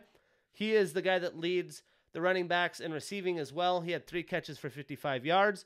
Emmanuel Sanders, three catches, 54 yards, and two touchdowns. Definitely filling in the Cole Beasley last year role. And then Dawson Knox, the big athletic tight end leading the team on the receiving side, three car- three catches, 117 yards, and a touchdown. I really wish I drafted him in my fantasy. On the defensive side of the ball, um, Tre'Davious White with the fumble recovery. Let's see. Taron Johnson, who I believe just got a contract after this week as well, with 12 tackles. The Bills get two sacks on the day, the Chiefs with none. That defense is just not causing pressure. Micah Hyde and Gregory Rousseau with picks on the day as well. And then statistically, the Chiefs 5 of 12 on third, the Bills 5 of 11. Yardage wise, the Bills out yarded them by about 40 yards and the turnover battle four to zero led you know a, a minus four differential. You're not going to find yourself winning the game but they were still somewhat close throughout the game uh, which just shows the potential of the offense of the chiefs and they do outpossess the bills by five minutes. Which set us up for monday night. What a game this was as the colts look like they're about to blow the doors off the, the ravens. The ravens look like they might have potential issues well, then all the corners for the Colts get hurt, and Lamar Jackson just straight attacks through the air. He finishes with 37 for 43, 442 yards, and four tutties for 140 and a half rating. And he has the record for the best completion percentage of quarterbacks going over 400 yards. Uh, bravo, Lamar Jackson. Bravo. But he wasn't done. He also had 14 carries for 62 yards and the leading receivers blew up uh, blew open the doors once the injuries happened for the Colts. Mark Andrews, Boomer Sooner, the the, the Boomer crew in Baltimore. Um, Mark Andrews, 11 receptions, 147 yards, and two tutties. And Marquise Hollywood Brown for nine catches, 125 yards, and two touchdowns. I just traded uh, D'Andre Swift and someone else for Marquise Brown and another receiver, and I ain't mad about it. On the Colts offensive side, Carson Wentz, no one's really talking about him, but he's putting up a pretty good amount of, of stats and doing his fair share. Plus, the Colts will be in the midseason hard knocks, which starts about a month, and I can't wait. Well, Carson, 25 of 35, 402 yards, uh, two touchdowns for 128.5 rating himself. Jonathan Taylor, decent day in the office on the ground, 15 carries, 53 yards, and a touchdown. That's a 3.5 average. Marlon Mack only gets five carries, but gets 47 yards, which is a 9.4 per carry on the ground. So, so good day. Looks like he might be back from his injuries, off-season Achilles injury. Uh, but Jonathan Taylor with the checkdowns does everything and anything with them. Only three catches, but 116 yards and a tutty. And Michael Pittman, six catches, 89 yards, and a touchdown himself. On the defensive side of the ball, um, Darius Leonard, the man, the myth, the Leonard, 13 tackles. Um, Bobby Okereke or Okereke with nine tackles as well. The, the Colts get two sacks as a team. Baltimore gets two sacks as a team, and Brandon Stephens with 12 tackles. Statistically, the Ravens go uh, three of eight on third down. The Colts five of 10. The Ravens outyard the Colts by 10. They both have a turnover on the day, and the um, Ravens outpossess the Colts by three minutes. But what a fucking day! I mean, the the, the Chargers Browns. You cut it. I was trying to multitask and watch the Cowboys because I had fantasy guys going. I was trying to watch Justin Fields and, and the Chicago game, but I couldn't get myself to leave the Browns Chargers game. The Sunday night game, a little bit of a snooze fest. The big lightning delay, which was a fucking shit show. Uh, plus the Chiefs losing. You know, I feel like that strictly affects my credibility of predictions, so I need them to get their shit together. But the Monday night game was great. Um, the Packers Bengals overtime game, the Thursday night game. What a slate week five presented to us. So, what the hell do we have coming up in week six?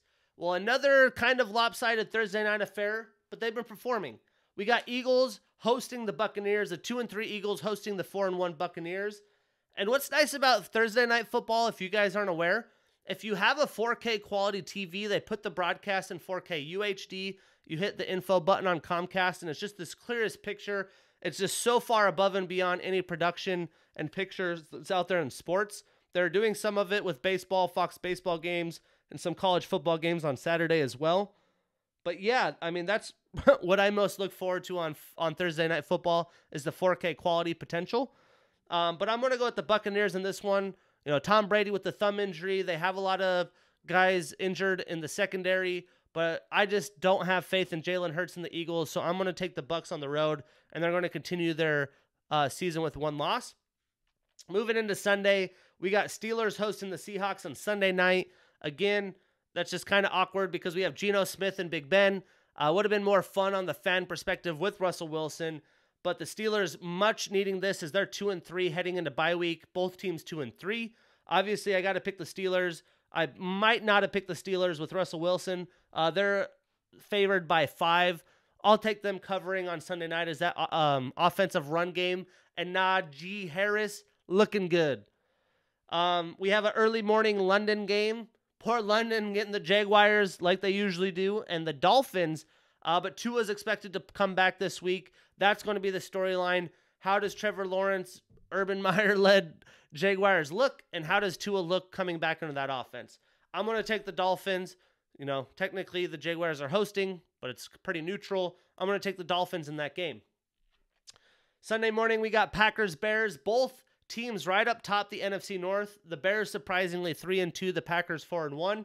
I'm going to go with Rodgers, the discount double check, taking the Bears uh, the Packers are favored by four and a half. I think it's going to be closer. I wouldn't take them to cover. We have the Lions hosting the Bengals, the winless Lions and the three and two Bengals. The Bengals favored by three and a half. I'm going to take them to cover on the road. Um, they do have their own injuries, but the Lions just look further and further from a winning team. Plus, you add some of the injuries. Ragnow, it's going to affect the run game. And as I said, if I'm the Lions coach, I'm trying to run the ball, keep the other offense off the bill, off the field, and, and lead with the defense. But they haven't seemed to have had a script that really truly runs into that. A lot of the damage Swift is doing is as a receiver out of the backfield. The Colts one and four hosting the one and four Texans. Davis Mills with his best game last week. As long as the Colts get some guys back in from the injuries last week, I know there's a couple guys in concussion protocol. Something to keep an eyes on, keep your eye on. I am going to take them to win. They are a nine and a half. I wouldn't have them covering, especially with all the injury concerns. But Carson Wentz has to find a way to win this game. I think he does at home. Another Sunday morning game, the Giants hosting the Rams. Danny Dimes, all the injuries they have, there's no way I'm picking them. The Rams are favored by nine and a half. That spread is hard to bet on, but they probably will cover. I'm taking the Rams there. Moving into Chiefs and the Washington football team, I uh, you know lost all the confidence in the world with Taylor Heinicke and crew after last week. I got to go with my Chiefs. They're two and three. Washington's two and three. The Chiefs are favored by seven. That spread though potentially I wouldn't bet on them covering. Uh, the Panthers three and two hosting the Vikings two and three. These are two teams I predicted for y'all into the playoffs, so it's a must win. Really, a must win for both teams if the playoffs really are something that, they feel like they can attack. Uh, I'm going to go with the Panthers at home. I think Sam Darnold has a rebound game. Dalvin Cook questionable. Mattison already there to fill his role. You know, same with Christian McCaffrey questionable. Uh, they have Chuba Hubbard to fill this role, but it'd be a lot of fun to see Dalvin Cook and Christian McCaffrey square off with Captain Kirk Cousins and Sam Darnold led Panthers. I expect there to be a lot of uh, emotion. I expect the defenses to get chippy. If you saw Kirk Cousins on the sideline last week, he, he got over to his coach, said, You like that? And his coach shoved him back. I love seeing that. I love the emotion. This is a game that I'll probably have to watch Sunday morning over the rest of the games on the slate, besides this one. This one's going to be fun. The Ravens 4 and 1 hosting the 4 and 1 Chargers. Lamar Jackson, Justin Herbert. I'm taking the Chargers on the road, mostly due to the injuries that have been amassing for the Ravens. Uh, but hey, maybe uh, the Ravens find another way to win. The crazy win on Monday, the 66 yard field goal. It seems like they have the luck on their side this season. Uh, they're favored by three, though. That'd be a good spread to pick against. In the afternoon slate, there's only three afternoon games because this is the first week of byes. The Falcons, Saints, Jets, and Niners are on the bye.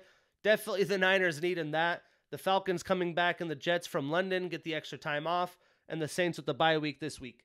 So the three afternoon games, we had the Browns hosting the Cardinals. No Chandler Jones, some of the injuries. I'm picking the Browns to win and give the Bengals their, or the Cardinals their first loss. Uh, the three and two Browns going to four and two, and the Cardinals going to five and one. The Browns favored by three. I'd take them to cover in this game. Another divisional game: the three and two Broncos hosting the three and two Raiders.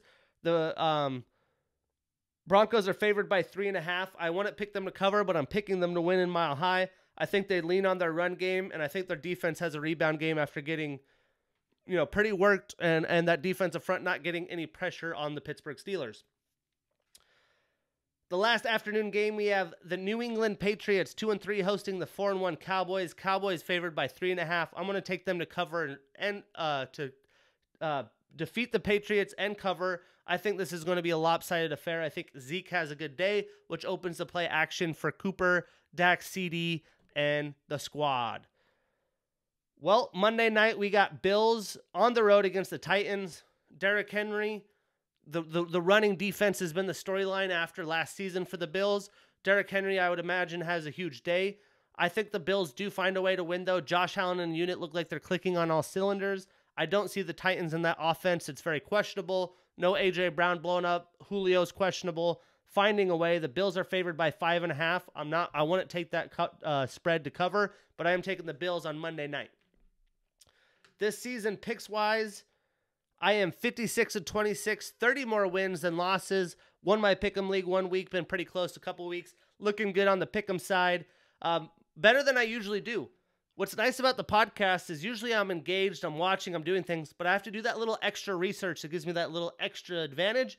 And uh, yeah, my, my bank account ain't, ain't, isn't hurting for it. But holy shit, what a week in the NFL. We're getting down to the wire. The fact that it's already week six, the season's going to be over sooner than you know it, and I'm going to be waiting for football next year. But you got to enjoy it while it lasts, even if my Steelers are two and three. So let's talk college football. Some headlines in the college world. Um, really, to me, comes down to Oklahoma. We'll talk about the Red River rivalry. But the biggest headline's got to be Spencer Rattler. Comes in, Heisman favorite. I put some money on him to win the Heisman. Not a lot, but put some money on him to win the Heisman. Put some money on the Sooners to win the championship. I felt like this was the year they had the potential with the improved defense with Alex Grinch's squad to get the job done. and the defense might actually look better than the offense this far. I woke up Saturday morning, you know, is I think the they're down 14 early, the Sooners. I'm pissed off. I turn the game off. I get some coffee. I, I do some other things. The, they find a way to come back, and it's led by Superman Caleb Williams, the true freshman himself. I mean, this kid didn't even get to play his last year of high school football because of COVID. All this time off, he comes in, and all the issues that Oklahoma's had this season that just drives you nuts as, as a Sooners fan disappear. All the O line issues doesn't seem like it. They got a quarterback. You know, Rattler's mobile, but Williams really likes to be mobile on his feet. Where's Marvin Mims? All of a sudden he appears. Why aren't we giving Kennedy Brooks the ball more? All of a sudden Kennedy Brooks snaps off. He also has this poise, this charisma. The team is rallying, everyone is rallying behind him. Somehow they find a way to win that game, but that's got to be the storyline. Do you bench Rattler and ultimately start Williams? Was that a one game situation? Is this because the line has been struggling? The mobile quarterback makes a difference. I'm glad that's Lincoln Riley's decision and not mine. But if there was anyone I'd want to have have that decision, it's Lincoln Riley, the quarterback whisperer. But that's the thing that is going to be the biggest headline, and I'm interested to see who who he chooses as a starter. I'm assuming it's going to be Caleb. If I were to make the choice just based off that snap decision, my heart's going to go with Caleb because of those things. The O line looked better. Uh, Brooks, who they need to live through, you know, was the machine. Marvin Mims suddenly appearing. We'll see what happens though. If that's the case, I would assume Spencer Rattler transfers somewhere next year, still has a good season, tries to prove the doubters wrong, and goes to the NFL. But when it comes to the rankings, the rankings obviously drastically different after this past week's games, which we'll talk about here in a minute. Um, but as of now, the top four teams in the rankings, this is the AP rankings, not the College Football Committee. I can't remember when that starts, but that'll be happening sooner than later. Um, but as we look at it, Georgia number one after the Bama loss, Iowa number two after they defeat Penn State, Cincinnati in the top four at three, and Oklahoma rounding out the top four. As I look at the rankings, a lot of the overrated teams are the same. Teams like Iowa. That offense is just not good enough for me to think they're a top four team in the nation. Do they have an impressive resume this far? Absolutely. I don't think you could credit the Penn State win as much as you want to, though, because of Sean Clifford being out. The Iowa State was the best win for them, in, in my opinion, and that team has a couple losses already. Indiana was ranked at the start of the year, but obviously Indiana isn't as good as the rankings were, and I, I called that called that out at the beginning of the season. I do think Cincinnati's overrated. Um, yeah, that was a good win against Notre Dame, but I don't think highly of Notre Dame either. I have them on the overrated list. Uh, Michigan overrated, number eight. They're not going to last there at number eight. I don't think they're the. Th- I think they're the third best team in the Big Twelve or Big Ten, excuse me. BYU, they have dropped. They dropped nine spots after the loss to Boise State, uh, which really was caused by lost fumbles in that game. Uh, but they're down to 19. I still think that's overrated. Um, Kentucky overrated. They find a way to beat Florida. They're six and zero. Oh. They're up to 11. I have them overrated not because I don't think they belong in the top 25, but I think 11 is a little high for for my liking. Wake Forest. I just don't know shit about this team. They're 6 and 0. They're up 3 spots. They're ranked 16. But we look at their resume, they've beaten Florida State and Virginia, Louisville and Syracuse in overtime, which Florida State's fallen off. Uh, Virginia and Louisville aren't the same teams as they they typically are. Another team I have on the overrated list, I have North Carolina State. They're down at 22 the ACC has a few teams in here I just don't think are credible. Uh, San Diego State, 5 0 at 24. I don't think they're going to last in the, the top 25. We look at their resume. They've beaten New Mexico State, garbage. Arizona, garbage. Utah, in triple overtime. Mixed readings with Utah, but I would say not very good. Towson and New Mexico. So they're 5 0. They're in the rankings. I get it, but just letting you know that won't last. They're overrated. When I do overrated, underrated, it's like end of season. If this is the final rankings, these teams don't belong there. I don't think they'll last, or I think teams will go up. I also think Oklahoma State is overrated. They're 5 and 0, ranked number 12. Could they be in the top 25 this year? Potentially. Uh, but their best wins are against Boise State, Kansas State without their starting quarterback, and Baylor, which was a pretty solid win, but I'm still unsure of how good Baylor is. The underrated teams, not as big of a list. I think uh, Ole Miss, Florida, and Texas with what Texas showed this past week, the young freshman quarterback Caleb Thompson willing this team, I think they get better as the season goes by. I'm sure they'll be around 15 or so at the end of the season, depending on you know scheduling. Off that's not me looking at the schedule at this moment. Uh, but Ole Miss and Florida, Ole Miss is 13, Florida is 20. You play in the SEC, you're going to take some losses that drops you in the rankings. But pound for pound, they're teams that I would not want to play with, and I think they're better than those rankings that they've give that they have been given at this moment in time. So let's talk last week's action. Oh boy, was there some action. So in early games, um, Coastal Carolina trounces Arkansas State on Thursday. They're 15. Uh, Grayson McCall, 18 to 23, 365 yards and four touchdowns. They run the ball well too. Shermari Jones, 10 carries, 113 yards and a touchdown. 113 yards on 10 carries. Sheesh. Um, Isaiah Likely continuing to ball out, eight catches, 232 yards and four touchdowns. I know we're talking Sun Belt, Arkansas State, who's one in five, but these guys are performing week in, week out. Cincinnati trounces Temple on Friday, 52 to 3. Desmond Ridder, potential Heisman candidate, 22 of 30, 259 and three touchdowns. Jerome Ford on the ground, 15 carries, 149 yards and two touchdowns. And then Alec Pierce, six catches, 93 yards and a tutty. Um, to end Friday night, Arizona State beat Stanford pretty handily. I had picked Stanford in this, so I got it wrong. Uh, Tanner McKee not looking as sharp as he did the week before in the win against Oregon. He goes 27 to 45, does put up 356 yards and a touchdown, but he has three picks, which was really the big difference in the game. And Jayden Daniels, man, what a game by him. 14 to 23, 175 yards, but also has 76 yards and a touch touchdown on the ground. So that set us up for Saturday morning, and that was where the day was owned by the Red River rivalry. These games the past few years have been insane. I remember my friend asking me what I thought of the matchup. I had picked Oklahoma in my parlay because I didn't like some of the other options, but I knew this would be a close game. It always is. And um, I didn't think that they would be down. I didn't think it'd be 55 to 48 by any means. But it was a wild game. Rattler gets sat after he finishes the day 8 for 15, 111 and a pick for an 11.4, 11.4 QBR. Insert Superman Caleb Williams, 16 to 25, 212 yards and two touchdowns for 98 rating. Casey Thompson doing well, 20 for 35, 388 and 5. He got the five burger on the day, five tutties on the day. So everyone, especially early, giving props where props is due. I mean, Bijan Robinson, this guy is a grown ass man. 20 for 137 and a touchdown. This guy is not even eligible to go to the NFL anytime soon, as he is a true sophomore. And he has 789 yards and eight touchdowns with 6.3 yards per carry average on the season. But he got overshadowed by a guy that I knew had the potential, but was so curious where it's been all season. You insert Caleb Williams, here he is. Kennedy Brooks, 25 for 217 and two touchdowns on an 8.7 average. He also had a 65 yard run. This is the guy that two years ago became the lead back of the backfield. He sat out last year and opted out with the COVID situation. But these are the games they need him to have if they want to find a way to stay in the top four. And Caleb Williams on the ground, only four rushes, but 88 yards and a touchdown. He did have a 66 yard run for a touchdown.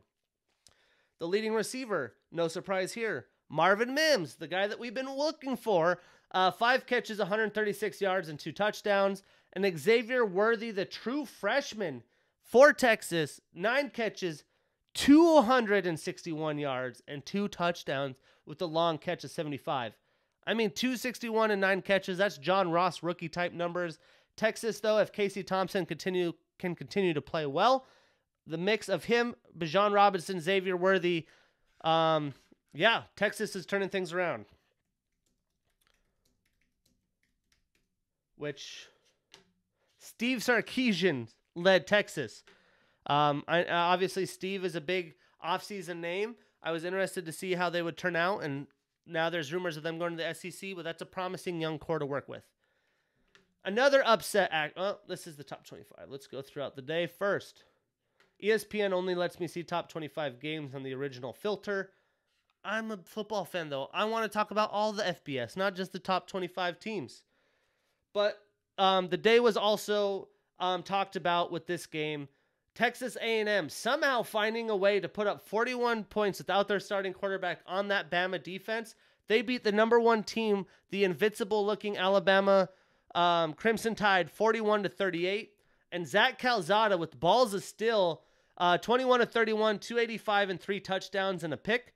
Um, out outdoing the Heisman favorite in this game. He was 28 to 48, 369, three touchdowns and a pick. Brian Robinson for Bama, 24 carries, 147 yards. Isaiah Spiller battling injuries throughout the game, 17 carries, but only 46 yards for a 2.7 average and a touchdown. Um, and then Jameson Williams leading all receivers, 10 catches, 146 yards, and two touchdowns. But the real big difference here was the the turnover battle. Bama with two turnovers to uh, Texas A&M's one.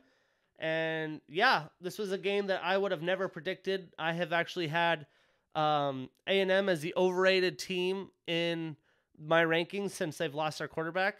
But hey, you you, you can't doubt them. Uh, the SEC, it's a tough schedule. It's the SEC for a reason. Alabama takes the L, and football fans everywhere are celebrating. I'm sure, like I was. Uh, no upset here as Georgia rolls Auburn. I expected this. You know, I've been pro Bo Nix. I, f- I figured he'd get his shit figured out after all these years with Auburn. I mean, how many years has he been the starter there? Let's see. One, two, three. So three years as a starter. It seems like he's been there forever. But I, I just expected him to perform well. He was in the QB 11 class with Trevor Lawrence and Justin Fields. Uh, but he goes 21 to 38, 217 yards and a pick. Bigsby has nowhere to run, 10 carries, 28 yards for 2.8 average and a touchdown. Stetson Bennett at quarterback. They don't have Daniels, but they don't need him. He's 14 of 21, 231 and two touchdowns. They run for 201 yards on Auburn and find a way to win 34 to 10. Georgia rolls. They're now the number one in the country. The huge top five battle in the Big Ten hosted in Iowa. You get to see them with the Children's Hospital waving, doing the introduction, the cool sight there. Well, they find a way to win after Sean Clifford's out. Uh, Ta'Quan Roberson did not look good. Seven of 21 for 34 yards and two picks. And the leading rusher was Sean Clifford before he left with three carries for 36 yards and a touchdown. That offense was nowhere to be found. They did have a big lead, but once Clifford went out, Iowa found a way. Spencer Petras, 17 of 38 or 17 of 31, 195 yards, two touchdowns, and a pick. Tyler Goodson with 25 carries for 88 yards, which is a meager 3.5 per carry average. And Nico Ragaini, four catches, 73 yards, and a touchdown. Uh, Penn State did have four turnovers to Iowa's one, most of that with the backup quarterback. That was really the tell of this game, but I'm still not that impressed for Iowa, even though they are number three. Let's look at their schedule coming up. I'm intrigued. I'm sure I did this on Saturday, but I'm doing it live with you guys. Uh, they got Purdue, Wisconsin, Northwestern, Minnesota, Illinois, Nebraska. That is a cake schedule if I've ever seen one. I do remember looking that over. Potentially could win out for the Big Ten championship. Um, so yeah, they could very well be in the top the top four for the rest of the season until the end. So that'll be fun to track down. Uh, Iowa State rolls against Maryland. The reason this is interesting is to see how Tua's brother does. Well, he's 28 of 39, 279, two touchdowns and two picks. CJ Stroud with over 400 yards and five touchdowns. TreVeyon Henderson still over 100 with 102 and two touchdowns. And Chris Olave looking like an NFL product, seven catches, 120 yards, and two touchdowns. I had picked BYU in this game to beat Boise State. Uh, the turnover has really lost them this game, but Boise State was able to run for 140 yards. Jaron Hill, 22 of 37, 302 yards, a touchdown, and a pick. But they lost the turnover battle 4 to 0. You can't win when you lose 4 to 0 on the turnover, minus 4 on the turnover differential. Michigan State continues to win. They roll Rutgers 31 to 13. Kenneth Walker III leading all runners. He had 29 carries, 233 yards, and uh, a touchdown.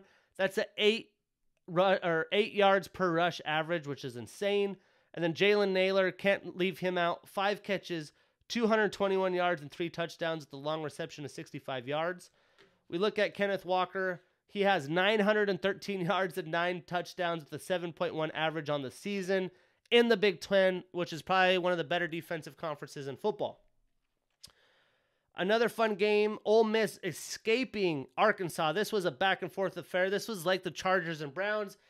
This is the SEC. This is a defensive led conference. Well, not in this game. KJ Jefferson, 25 of 35, 326 yards, three touchdowns. Raheim Sanders, 139 yards on the ground. Treylon Burke, seven catches, 136, uh, and a touchdown for the Hogs. Meanwhile, Heisman, um, one of the front runners, Matt Corral, 14 to 21, 287 yards and two touchdowns. Henry Parrish with 111 yards, Snoop Conner 110 and three touchdowns on the ground, while Braylon Sanders had 127 yards and a touchdown. This game was close like I expected. I did not expect there to be over 600 total yards by both offenses. Arkansas outyarded Ole Miss by 60, but they lost the turnover battle 2 to 0 even though they outpossessed Ole Miss 30 by 11 minutes. A lot of Ole Miss's scores were quick strikes, long plays. Ole Miss looking solid. Arkansas still very tough. Nobody should want to play them. Another game I got wrong. I picked Virginia Tech to upset Notre Dame.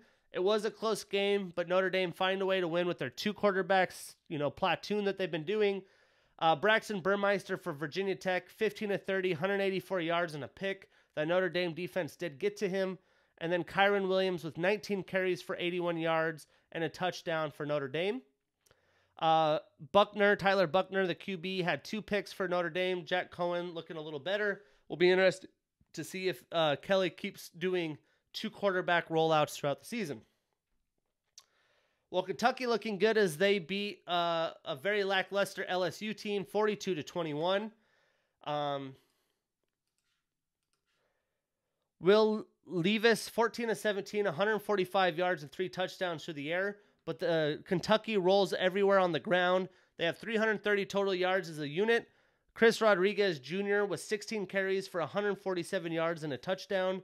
And Kavosiey Smoke with 12 carries for 140 yards, or 104 yards, excuse me. And Kentucky stays undefeated in the SEC.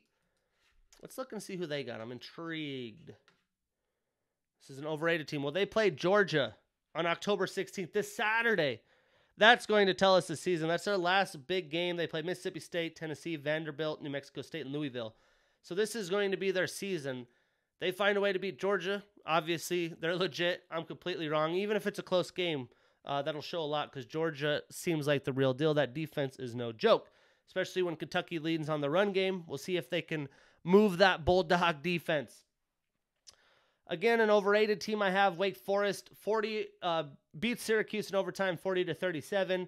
Sam Hartman 19 to 32, 330, three touchdowns and a pick for for the uh, for Wake Forest, and then A.T. Perry. That's interesting. A.T. Perry. It's got to be short for something, you'd think. You'll see a lot of ATs.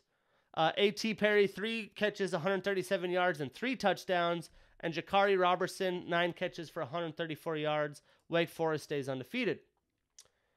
Uh, Florida rolls Vandy, no surprise here. Emory Jones, 14 to 22, 273 and four touchdowns. SMU um, beats Navy. They stay undefeated in the American Conference uh, and, and, stick within uh, the top 25. The guy I always keep my eye on as a Sooner fan is Taylor Mordecai. He's 30 for 40, 324, two touchdowns and an interception. Good to see he's having an opportunity at SMU. San Diego State, my overrated team, 5 0 in the Mountain West. They roll New Mexico 31 to 7. Um, their running back Greg Bell with 21 carries, 111 yards, and a tutty. Tennessee smokes South Carolina in the SEC. Baylor smokes West Virginia, which is interesting. Um, Gerry Bohanon, 18 and 29, 336 and four touchdowns for Baylor. Tyquan Thornton with eight catches for 187 yards and two touchdowns. Let's see. Virginia sneaks by Louisville in a average ACC battle, but Brandon Armstrong with goes 60 pass attempts. He goes 40 to 60 for 487 and three touchdowns, and Rashawn Henry with nine catches for 179 yards. Liberty smokes Middle Tennessee. Why am I talking about this? Well, there's the NFL prospect here, Malik Willis. He goes 17 to 30, 222, two touchdowns, and three picks. That's all I need to see uh, against a middle, middle Tennessee team. I think that hype might be a little over extraneous, But again, it seems like a lot of the athletic talent is why people are so high on him. Somehow, Florida State finds a way to beat North Carolina. North Carolina, for a very tough season, um, they give up 238 yards on the ground. They must have lost the turnover battle. Yep, they lose the turnover battle by one. Uh, but Sam Howell, 17 for 32, 203 yards, two touchdowns, and a pick. He also runs the ball 11 times for 108 yards. And Josh Downs has nine catches for 121 yards and a touchdown. But I doubt he's going to have an opportunity uh, to win the Heisman. Wisconsin gets back in the win column and moves two to three, beating Lovie Smith's uh, Illinois team 24 to zero. They blank them. Let's see what else happened. Washington State beats Oregon State. Oregon State moves to four and two into the Pac-12. They look like one of the better teams, but Washington State with their 46 pass attempts, uh, Jayden de Laura 32 of 46, 399 and three touchdowns, finds a way to win. Travell Harris eight catches, 147 yards. Uh, BJ Baylor stays, uh, still has another good day on the ground, 18 carries for 145 yards. TCU beats Texas Tech pretty handily, 52 to 31 in the Big 12. Uh, Wyoming loses its first game to Air Force, 24 to uh, 14. Sean Chambers, 11 of 28, 143 yards and a touchdown. So yeah, my Wyoming Cowboys not looking as good, not looking that good. I know they're undefeated, but it didn't seem like they were going to be that talented, anyways. Utah finds a way to win against USC. USC's woes continues. Uh, Kedon Slovis, 33 of 53, 401 yards, two touchdowns, and a pick. They're throwing the ball 53 times. That's insane. Cameron Rising looks to be the guy in, in Utah, looks to be doing well. 22 of 28, 306 yards, and three touchdowns. Tavion Thomas, 16 rushes, 113 yards, and a touchdown. That looks like a typical Utah line, and the Utes might be back in action. I'm interested to see how their next few games play out as they have their quarterback. Um, you know, they took losses against San Diego State and BYU earlier. Uh, they've beaten Weber State, Washington State, now USC, and they play Arizona State this weekend. Um, also, Drake London, 16 catches on, tw- uh, oh no, 16 catches, 162 yards, and a touchdown for USC. Uh, US UCLA rolls Arizona, the once top 25 team. And in the FCS this past week, there was a couple good games. Memory serves me correct. You know, as a Montana Grizz fan, they lose to Eastern Washington. The quarterback, Cameron Humphreys, hurt. There's still no, I don't have knowledge, anyways, of what the hell the deal is there, uh, but has me a little concerned. Grizz start out slow, but they find a way to beat Dixie State 31 to 14. Uh, the true freshman Chris Brown, 20 of 30, 241 yards, a touchdown, and a pick. Xavier Harris, looking pretty solid, man. Uh, 29 carries, 119 yards for a 4.1 average. And the Grizz find a way to get three turnovers and hold Dixie State to 261 total yards and 35 yards on the ground. That's that Grizz defense, baby. Um, other world, other games in the FCS world of note. I know there was at least one I had my eye on. Oh yeah, Villanova beating James Madison, uh, a top-ranked team in James Madison. Villanova finding themselves up in the FCS rankings as well. Um, Cole Johnson, 24 of 40, 174 yards uh, for James Madison. Daniel Smith, 16 of 26, 158 yards and a touchdown for Villanova. Uh, Rayjon Pringle, eight catches, 132 yards, and a touchdown for Villanova as well. Villanova won the turnover battle by one. James Madison with nine minutes of time of possession on Nova, but Nova wins by one to upset James Madison. I think that was the only one. Nope. North Dakota State beats Northern Iowa 34 to 20. Fucking North Dakota State always winning. Quincy Patterson 11 to 21, 182 yards and two touchdowns. Also ran the ball 12 times for 60 yards and two touchdowns for four touchdowns on the day. They hold Northern Iowa quarterback Theo Day uh, 12 for 31. Pretty bad day in the completion percentage. 257 yards and a touchdown. But Isaiah Weston gets majority of those. Five catches, 181 yards and a touchdown. And Northern Iowa loses a turnover battle 2 to 1. Eastern Washington rolls Northern Colorado. Um, the highly ranked UC Davis somehow loses to Boise State or to Idaho, Idaho State as they get their first win, 27 to 17. ESPN doesn't even have their box score. It's Idaho State and UC Davis. They probably give zero shits, but UC Davis was thought highly of and high in the rankings. Uh, South Dakota gives North Dakota another loss, a team that was in the top 25 of FCS. They win 20 to 13. Let's see here. Any big stats? Travis Theis, the running back for South Dakota, 23 carries, 138 yards, and a clean turnover game. But yeah, low scoring game. South Dakota wins. They stay up in the rankings. Another big FCS game. Southern Illinois, 5 and 1, somehow finds a way to beat South Dakota State, the Jackrabbits, who are 4 and 1. They hand them their first loss. Nick Baker, 28 of 45, 359 yards and four touchdowns. Donovan Spencer, 103 yards and two touchdowns on the ground. And Landon Lenoir, 10 catches, 147 yards and two touchdowns. Jaron Rollins, four catches, 104 and a touchdown. For the Jackrabbits, Chris Oladokun. Oladokun. That's pretty cool. Uh, 23 of 31, 358 yards, a touchdown, and two picks. Pierre Strong, 20 carries, 162 yards for 8.1 average and two touchdowns on the day. He had a long run at 85 yards. Tucker Kraft with 124 yards and a touchdown on 10 catches. Jadon Janke, three catches, 117 yards, and a touchdown for the Jackrabbits. The Jackrabbits lose the turnover battle 3 to 2 and are outpossessed by a minute as Southern Illinois Salukis. The hell is a Saluki? Seem like the real deal. Saluki.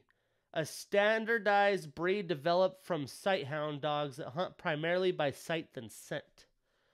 The Salukis. Only in the FCS, ladies and gents. Only in the FCS. Watch out, Southern Illinois, though. Jackson State, a top-ranked team, rolls Alabama A&M, a solid three and two A&M team, 61 to 15. Um, you know, Jackson State obviously in the headlines along a lot as Deion Sanders is part of the um, coaching staff. Let's see what the box score says. They put up 61 points. I'm sure it's a lot. 249 yards and four touchdowns by the QB. Santi Marshall, 122 yards on the ground. Must have been a lot of turnovers. Two turnovers by Alabama A&M, which I believe is a somewhat new school. A and M school start. Nope, 1875. I was completely wrong. Completely wrong. The internet, it'll check you real quick. Uh, what else do we have? Actually, I think I was thinking of Jacksonville State as the coach. Not Jacksonville, Jackson State. See? Fucking Jacksonville State head coach. Hmm. Anyways, uh, Montana State Bobcats they stay uh, at, with one loss as they roll through Cal Poly forty-five to seven. And that's that from week six in the FCS. Previewing week seven, Weber State and Montana State. Weber State hosts Montana State. They could play spoiler in Montana State. Let's see, as Montana State is number nine in the rankings. Uh, Weber's still 19, even though they're two and three. Tough schedule. Montana plays Sac State. They're trying to avenge last year's game. Will be interesting to see how Chris Brown plays for them, the the, the true freshman. What else we got? Top ranked teams here. I don't think there's as much. There's actually a lot of action last week in the FCS. Just like the FBS, there's a lot of change in the in the top teams there. Eastern Washington, easy opponent. North Dakota State, Illinois State, that should be easy. Southern Illinois, playing North Dakota. That's a potential good game. The Salukis. I like that. The Saluki. Let's see. Villanova playing 0 for 5 Al- Albany. Yeah, I don't think there's a lot in the FCS world. Northern Iowa hosting South Dakota. That's a good game. Uh, Northern Iowa is three and two. South Dakota is four and two. Let's see. Northern Iowa is 16 in the rankings. South Dakota is 21. And that's that in terms of this week in the FCS. A little bit of a slower week in the FBS as well. Let's see. Week seven, or no, week eight in FBS. Um, Coastal Carolina is actually playing tonight. They're playing App State tonight. Um, Coastal Carolina undefeated in the rankings. App State potential upset alert. That is tonight on ESPN two um, in Boone, North Carolina. They got a rowdy crowd there, so that that's that's going to be a tough game for for Coastal Carolina, even though they play in the Sun Belt. It looks like probably one of their strongest games uh, left on the schedule. So, you know, they could win out from here, have an opportunity to play some big time bowl games. This might be the biggest game for them the rest of the season. Also on FBS, we have, yeah, not a lot of good games Thursday or Friday. Uh, Memphis and UCF, a decent game. Head into Saturday morning. Iowa State hosting Oklahoma State. They could try to get back on record, get back into the rankings, even though they're three and two. See if Brock Purdy and Breece Hall could get the, their business handled. I'm actually going to go on the limb here. I'm taking Iowa State. I'm taking the Cyclones over the 12th ranked Oklahoma State Cowboys. Washington State hosting BYU. Decent win by Washington State. See if they could play spoiler. I'm going to take BYU though. TCU West Virginia in a, a, a mid Wait, am I on the wrong way?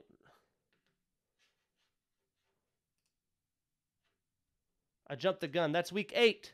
Week eight. We're in week seven. Appalachian State already got crushed by the Raging Cajuns last night, a Tuesday night game. Like, how the hell? I don't understand how that scheduling works that teams play on Tuesday and Wednesday nights. Um, so, preview for next week Coastal Carolina, Appalachian State. That's going to be interesting. Maybe not so much though, because the once ranked Louisiana Raging Cajuns doing work. Let's see who did work for them. Levi Lewis, 15 to 25, 209, a touchdown and an interception. As a team, they ran for 246. Montrell Johnson, 14 carries, 130 yards, and a touchdown. App State with four turnovers. That'll do it. Raging Cajuns moving on. Maybe get back in the top 25 soon. So on Saturday or Friday, we have Oregon hosting California. They should be able to roll that, but keep their eyes on with some of their injuries and losing their running back. Saturday morning, the Sooners playing TCU. That's how I knew I was a week ahead. So I said TCU, West Virginia. I was like, no, they play Oklahoma. Um, the storyline here is who the hell is going to be the starter. I hope it's Williams. Maybe I don't. I don't know. But Lincoln Riley will know.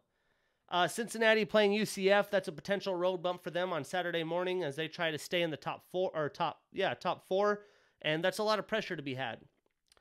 Uh, Indiana's hosting Michigan State. People thought highly of Indiana. They thought highly of that offense, so maybe they could play a spoiler. I'm taking Michigan State. Texas is hosting Oklahoma State. That's tough back to back games for Oklahoma State. I'm picking Texas. I'm taking the freshman QB to get the job done. Arkansas hosting Auburn. Could be a decent game. I bet you the Hogs roll them after the tough loss to Ole Miss last week. LSU's hosting Florida in the rivalry game. I'm taking um, Emory Jones and the Florida led offense, my underrated team. What else we got this weekend? Georgia hosting Kentucky. This is the big game for Kentucky, their prove it game. I can't bet against the Bulldogs. That defense is too legit. Baylor's hosting BYU. We'll see if Baylor's decent. They could uh, continue continually add to the losing column for BYU. You know what? BYU burned me last week. I'm taking Baylor at home. North Carolina hosts Miami for two sad ACC seasons. I'm taking the Tar Heels. Sam Howell is about to light them up. Uh, D'Eriq King supposedly having season-ending surgery. Virginia Tech hosting Pittsburgh. This will be a fun one. My hopeful future Pittsburgh Steeler, if not Rodgers, Kenny Pickett, man, you gotta tune in on uh, 12:30 on Pacific on on Saturday to watch Kenny Pickett on ESPN2. This guy's lighting it up. Wyoming playing Fresno State. That's a big game for my for for for my Wyoming Cowboys. the the Pokes because um, they took the loss against Air Force. Fresno State's definitely a step up in competition. We'll see how they can manage that. Mississippi State hosting Alabama after the loss. I'm sorry. I'm sure uh, Saban and crew is going to find a way to trounce that team.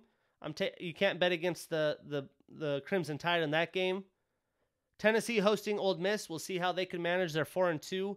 Uh, Ole Miss with a huge win against Arkansas, maybe a letdown game on the road, at least worth tuning into. That's a 4:30 p.m. Pacific game on SEC Network, which I don't actually I do have. I have the added sports pack for that. Uh, Kansas State hosting Iowa State. That'll be an interesting game. I will be taking Brock Purdy and Breece Hall in that game. What else we got? And Utah hosting Arizona State. Utah gaining some momentum. U- Arizona State back in the rankings. This will be a fun game. You know, I can't pick against Arizona State. I really do want to pick Utah. I want to believe that they have that momentum going. So a good game to keep a track and an eye on, especially if you're a Pac-12 fan. That's a 7 p.m. Pacific start on ESPN. Apologies, I got my weeks mixed up there. Just lots of action. It's fucking mid of the football season. I'm jacked. You're jacked. We're jacked together. But let's talk the fight game because I'm super stoked about that. Well, in the fight game, we have a lot of new fights booked, some dates booked, and we got to recap last weekend's fight night. There's also a fight night coming up this week. Well, the big bad heavyweight championship, the real heavyweight championship, not the interim, is on the line as Francis Ngannou and Ciryl Gane, Cyril Gane, who we knew would be booked against him, is booked for January 22nd. So we'll be starting off 2022 with the heavyweight banger. Um, Holly Holm out of the main event this weekend. Well, guess who fills in? Aspen Ladd, who fills in to try to redeem herself after missing weight a couple weeks ago. Even though this is a weight class above, she is filling in for the main event. Uh, Taila Santos is hopping in for Alexa Grasso to fight Joanne Calderwood on that card. And some big fights that I'm excited about. This one especially. Calvin Kattar back in the octagon against Giga Chikadze, who'll be headlining the fight night in January. We have Ian Heinisch versus Sam Alvey in a fun battle of really a must-win fight for these guys. Uh, Tui, uh, Tai Tuivasa versus Augusto Sakai, another heavyweight clash you would expect to happen eventually. That banger alert's going to be going down. I almost can guarantee that one won't last uh, all three rounds. Um, Brandon Moreno versus Deiveson Figueiredo moved from UFC 269 as it's so freaking stacked. They moved that to UFC 270. Uh, Geoff Neal booked against Santiago Ponzinibbio. That's going to be a fun clash in that weight class. Two very experienced fighters uh, trying to move themselves back up in the rankings. Luke Rockhold pulling out of his fight with Sean Strickland due to a herniated disc. His return back to the octagon will now be delayed. Uh, makes you wonder if there will be a return back to the octagon. The UFC officially releasing Luis Pena after domestic violence. An ex Ultimate Fighter guy, a guy I always root for. Hard to see as he is was starting to gain momentum in the octagon, not necessarily out of it. Uh, but the things happening out of the octagon has just been too costly. He will no longer be a part of the UFC. Prayers up to him. Hopefully, he could get his life sorted out. Outside of the UFC, Bellator 268 this weekend, a big Bellator card, as we have Vadim Nemkov fighting Julius Anglickas. Uh, Nemkov, probably one of the best fighters in all of the Bellator roster. You have two ex UFC guys going at it with Ryan Bader and Corey Anderson. That's going to be a fun one. I have to take Vadim and Corey in those fights. And then the the true veteran Benson Henderson taking on Brent Primus. I don't want to bet against Benson. I'm taking Benson in that fight. But a great card that is this Saturday for Bellator. And then have to give due justice to the trilogy fight. Tyson Fury, uh, Deontay Wilder. Boy, did that deliver.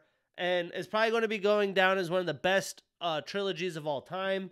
This was a fight I never knew I needed as a fight fan, as it's been pretty lopsided I know the first fight was a draw, but outside of the knockdown, uh, Fury was all over Wilder. The last fight wasn't even much close, but this fight, Wilder showed his heart, came in with a true game plan, and gave Fury the toughest fight he's had of his career. And as a fight fan, it was so much fun.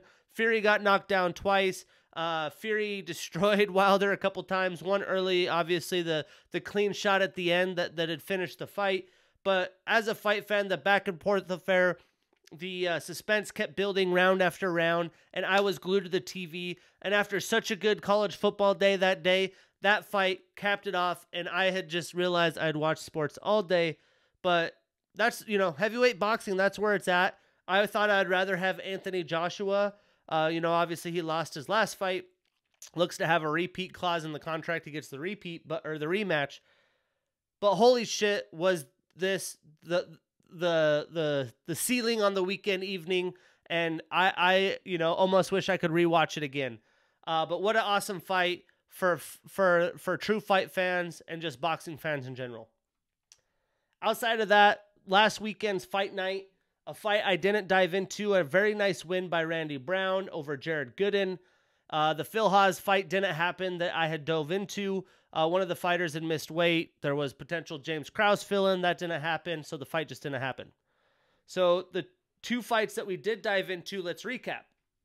This flyweight banger was a fun one as Matheus Nicolau had a unanimous decision over Tim Elliott. To me, this fight was definitely not a unanimous decision victory. I thought Elliott clearly won round one and I didn't believe that there was a round that any fighter dominated that should be 10-8. So I'm, I do not agree with the with the decision. Um, I I was more so on the side of James Krause, who was coaching Elliott's corner. He had told Elliott he was up two rounds that you know he's in a good spot. He ended up stalling that whole third round. Really didn't do shit. I think that really caused maybe you know a, a choice in the judge's decision. Like he's not doing anything, so let's give the close fight to Nicolau, and they gave him the UD, which really doesn't make any sense. Um, but yeah, James Krause didn't help Tim Elliott's cause. Elliott's a madman, usually attacks with volume, and I, I think he needed to stick to that game plan. Matheus himself is on a four fight winning streak, two of those against very good competition in Elliott and Manel Kape. Um, Elliott himself looked good, but he either gassed out or a result of James Krause's corner just totally completely stalled. I'm not sure what what the situation is. I haven't seen Elliott gas out much, so I, I don't think that's the case. Uh, definitely a bummer of a, of a result for the true vet, but he could turn around and maybe fight David uh, Dvorak or Amir Albazi, who are both ranked in the flyweight division. He drops down to number 11. Statistically, in this fight, Nicolau had 128 total strikes and 64 of those significant, versus Elliott's 105 total and 70 significant, and both had a takedown as well. Now, Nicolau, who isn't even in his fighting prime yet, uh, could have his hands full with the matchup against a higher ranked opponent. But with a bunch of these higher ranked opponents having booked fights, he might need to chill out a little bit, improve in the gym, and let things shake out. But if he does want to turn things quickly, he could fight either of those guys I had talked about Tim fighting. Um, but he moves up to number eight in the flyweight rankings. And then the main event. My my my Bay taking the L like I had predicted. Uh, Marina Rodriguez with unanimous decision over Mackenzie Dern. This fight went exactly how I expected. You know, Dern would have had some flurries and some submission attempts, uh, but Rodriguez was clearly going to outstrike her and outlast her in five rounds, which I think makes a big difference. And at only 28 years old, Mackenzie said exactly what should be the takeaway. This was a great learning experience and is only going to make her better, and I completely agree. On the statistics side of things, Marina, Marina landed 148 total and 144 significant strikes versus Dern's 80 total and 49 significant. The disparity was really in large or was largely in rounds 4 and 5 as Dern tired after a couple deep submission and on top attempts. Uh, Dern did have a takedown as well. Marina Rodriguez Rodriguez uh, is now on a very impressive three fight winning streak and moves up to number four and she could fight for the title next, or maybe they'll give her a fight against Joanna in her return since the big head injury, or maybe Carla Esparza, who you would think would be next in line, right? If they don't want to wait. Um, she also lost to Carla before, so I'm sure Carla doesn't want that to happen.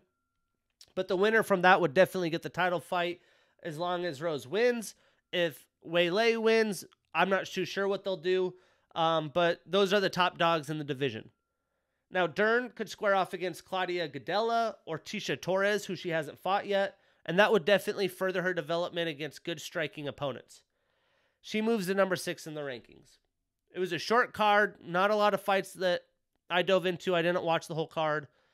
Um, just the, the, those main few last fights. But moving in in this weekend's fight night, it's not a 1 p.m. Pacific start, it's a 4 p.m., so it is early, but not as early. Uh, Jim Miller's fighting in this one against a fighter making his UFC debut. I'm always excited to watch Jim Miller fight. Um, I'm going to pick him in this fight. We're not going to dive into that fight because it's a brand new guy that I have no idea about.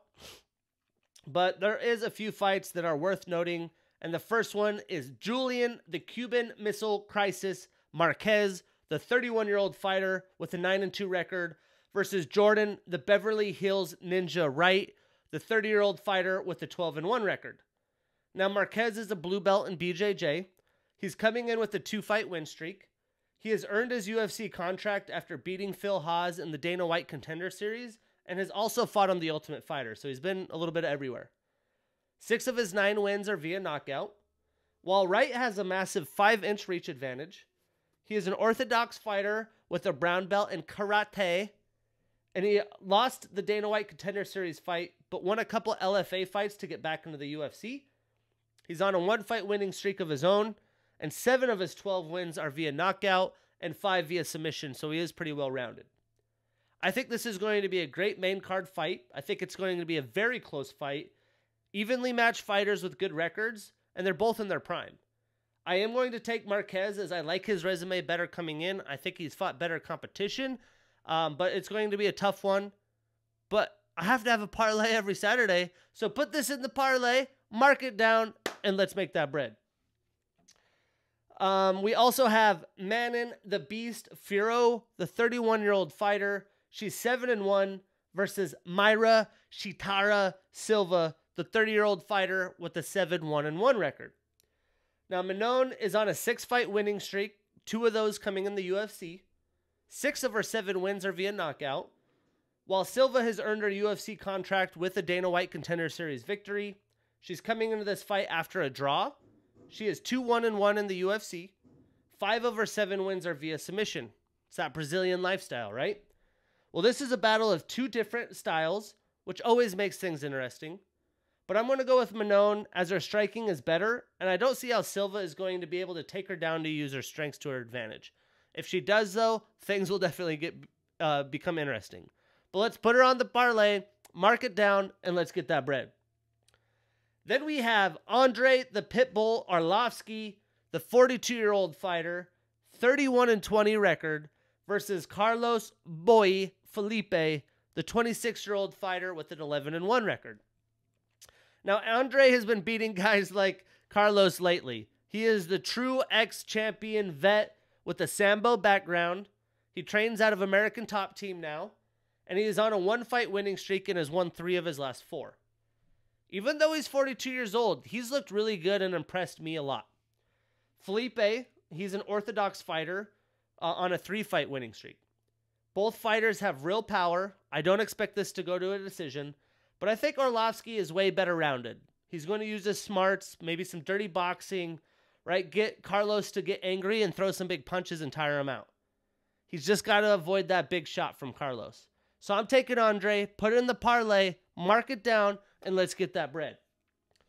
And then the main event as Aspen Ladd fills in the 26 year old fighter with a 9 and 1 record and the number 3 next to her name versus Norma the Immortal Dumont, 31 year old fighter with a 6 and 1 record.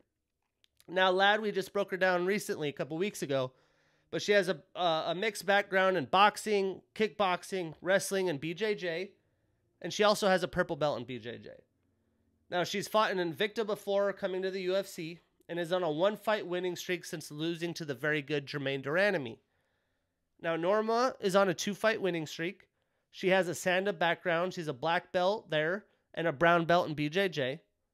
Both fighters have fought in multiple weight classes. But this is Ladd's shot at redemption, right? After missing weight, all the shit and criticism she's had, she's just got to let it uh, her fight game handle the business.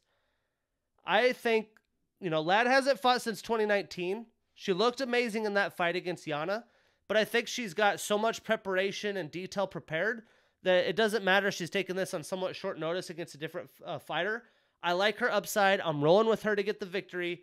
I'm putting in that parlay, marking it down, and let's get that bread. Other words, next week we have another UFC Apex fight night. It's a 1 p.m. card Pacific, so an early, early card. But the headliner here is a big banger alert for sure. We got Paulo Costa back in the octagon taking on Marvin Vettori, and I can't wait. That'll be a fun one to dive into. But wrapping up the show, we got baseball and we got ba- baseball playoff action coming at you. So since our last show, the Dodgers won the one game wild card against the, the, the red hot Cardinals, which I had predicted.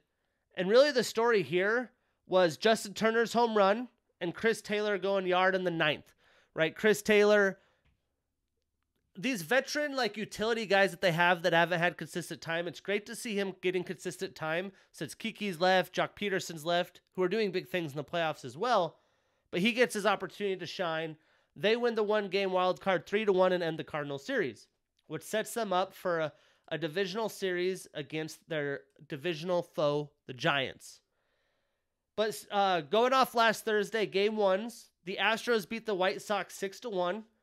I had picked the Astros to win this series, but I figured the the, the White Sox would put up more um, offensive runs. You know, Lance McCullers getting the game one start. He goes six and a, uh, two thirds, four hits, no earned, four Ks, and 104 pitches. Pressly saves the day, and Lance Lynn gets roughed up. Three and two thirds, five inning, five earned, six hits, only four Ks and two walks. Um, Jose or um, Yordan Alvarez with the home run for the red or for the Astros, and that was really just a, a blowout in Game One. So in the other AL divisional series, the Rays shut out the Red Sox five to zero. Some people have the Rays as the champion as they have that great mix of youth and veteran leadership. Uh, Wander Franco, first playoff game, two for four. Uh, Nelson Cruz, the veteran added, goes yard in, in, in game one. And Shane McClanahan lasts five innings, gives up five hits, no earned, and three Ks. While Eduardo Rodriguez only lasts an inning and two thirds, he gives up two earned, only gets one K. Schwarber goes two for four, ex Cub. Bogaerts two for four, and Schwarber with the stolen base, but it's not enough.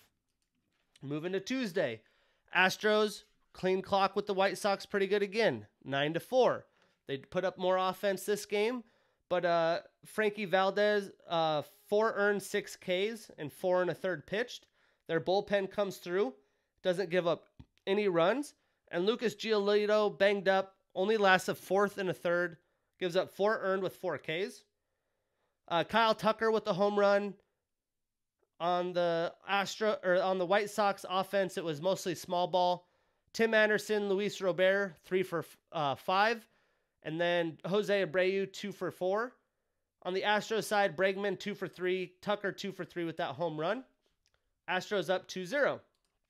Starting in the NL divisional series, the, the Brewers still game one against the Braves.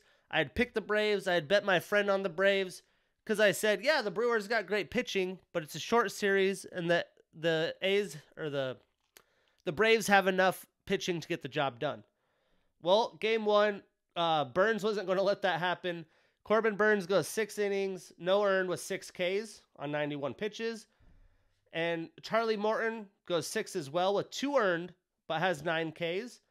And the big difference here was a Rowdy Tellez homer. That big son of a gun goes yard as the Brewers offense doesn't do much outside of that. And for the Braves, Joc Pederson with a home run to put them on the board, but not enough. Brewers up 1 0.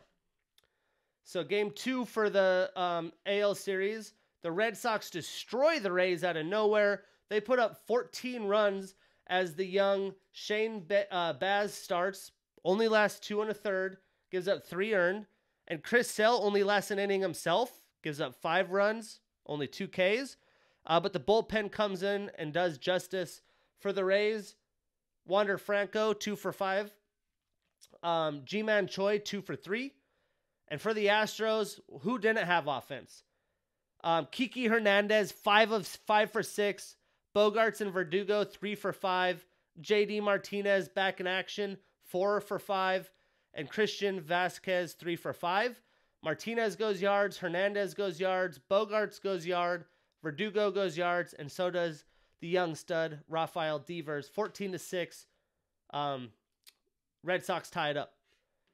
In game one of this fun series, the Giants blank the uh, Dodgers 4 to 0. The Dodgers turn around with Walker Buehler. He gives up three earned, has five Ks. Logan Webb just really gaining momentum at the end of the, the season. This guy just shows up out of nowhere. I mean, the pitching for the Giants has surprised most people, but this guy's been all over, right? Um, in, in his career. Last year, he had a 5.47 ERA, and the year before, 5.22. This year, he somehow managed a 3.03. You know, he is only 24 years old, but in the biggest game of his life, goes seven and two thirds, five hits, no earned, and 10 Ks. 92 pitches. Logan Webb. Bravo. I'll be scouting you for fantasy next year. The Giants offense, Tommy La Stella, the veteran, uh, two for two. Kris Bryant, ex Cub, stepping up, three for three. Buster uh, Posey and Brandon Crawford go yard for the Giants. For the Dodgers, Mookie Betts, two for four. Will Smith, two for four. Um, and the Giants found them find themselves down on Friday.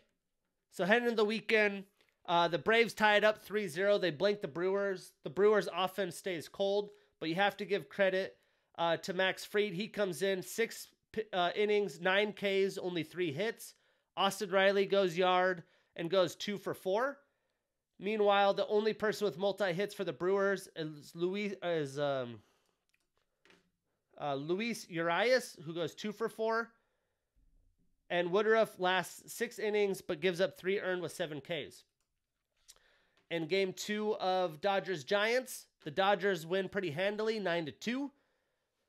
Um, Chris Taylor goes two for four. AJ Pollock two for four. Uh, Will Smith with the home run is first of the playoffs. And Urias last five innings, one earned, five Ks. Meanwhile, for the Giants, not a lot of offense, but Buster, three for four. Brandon Crawford, two for four. The vets keep delivering. And their new ace, Kevin Gausman, last five and a third, gives up four earned and seven Ks. Moving into Sunday, this was a crazy game as the Red Sox win in 13 innings uh, to go two to one in the series. They win six to four. Ex Cubs doing more damage. Ex Dodgers. Uh, Schwarber three of five. Kiki three of six. Hunter Renfroe two of four. Hernandez with the second playoff home run. Vazquez with his first. Schwarber with his first. Eovaldi uh, goes five innings, two earned with eight Ks. And for the Rays, Franco two for four, Meadows two for four, Kiermaier, oh no, Austin Meadows with the home run, and Franco with his first playoff home run. But it wasn't enough as this game goes long. Drew Rasmussen, is it Drew? Got to confirm. Yep. Drew Rasmussen, the young stud, only lasts two innings, gives up three earned, and Patino gets lit up at, um, in the 13th inning. On the AL side of things, the Astros uh, get beat this time, and the White Sox offense finally snaps. They win 12 to 6. They rough up Garcia, who only lasts two innings and two thirds. He gives up five earned. Insert Garcia. What's his first name? Uh, Yimi Garcia. He only lasts uh, a third of an inning and gives up four runs. The White Sox snap, led behind Tim Anderson, three for six. Eloy Jimenez, two of five. Moncada and Sheets, two two hits on the day. Luis Garcia, two hits with his first home run. Grandal with his first playoff home run. Cease only lasts an inning and two thirds himself with three earned. Kopech came in and gave up three earned, uh, but the rest of the bullpen for the White Sox lock it down. Bregman went two for four. Kyle Tucker two for four. Kyle Tucker with another home run for his second in the playoffs, which sets up an interesting Monday as Atlanta's up uh, 2 1. They win 3 to 0 against the Brewers um, after losing game one. Freddie Peralta, four innings, zero earned, five Ks. Uh, William Adam, Adam, man, his last name is hard to say. Adames, two of four. Um, for the Braves, Adam Duvall, another late season acquisition, two of four. Um, Joc Pederson, though, saves the day with a clutch home run um, in the fifth inning off AJ Houser. And Ian Anderson coming through five innings, three hits, no earned with six Ks for the Braves victory. Um, Red Sox close out the Rays in a very close battle. Did not see that coming. They win six to five. Uh, their offense pulled through as Devers went three for four, JD two for four, Vazquez two for four, when a catcher's hitting that well in the playoffs, you, you can't complain if you're the the Red Sox.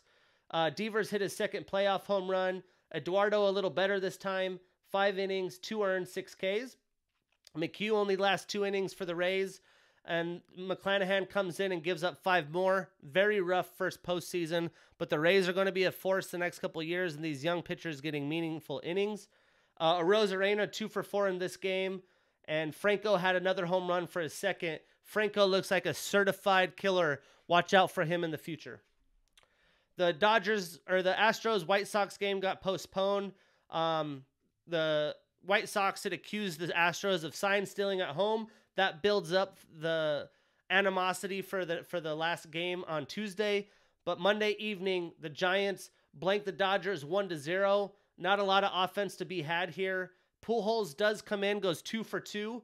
I knew that he would have big playoff moments, and Longoria goes home run to to steal the game.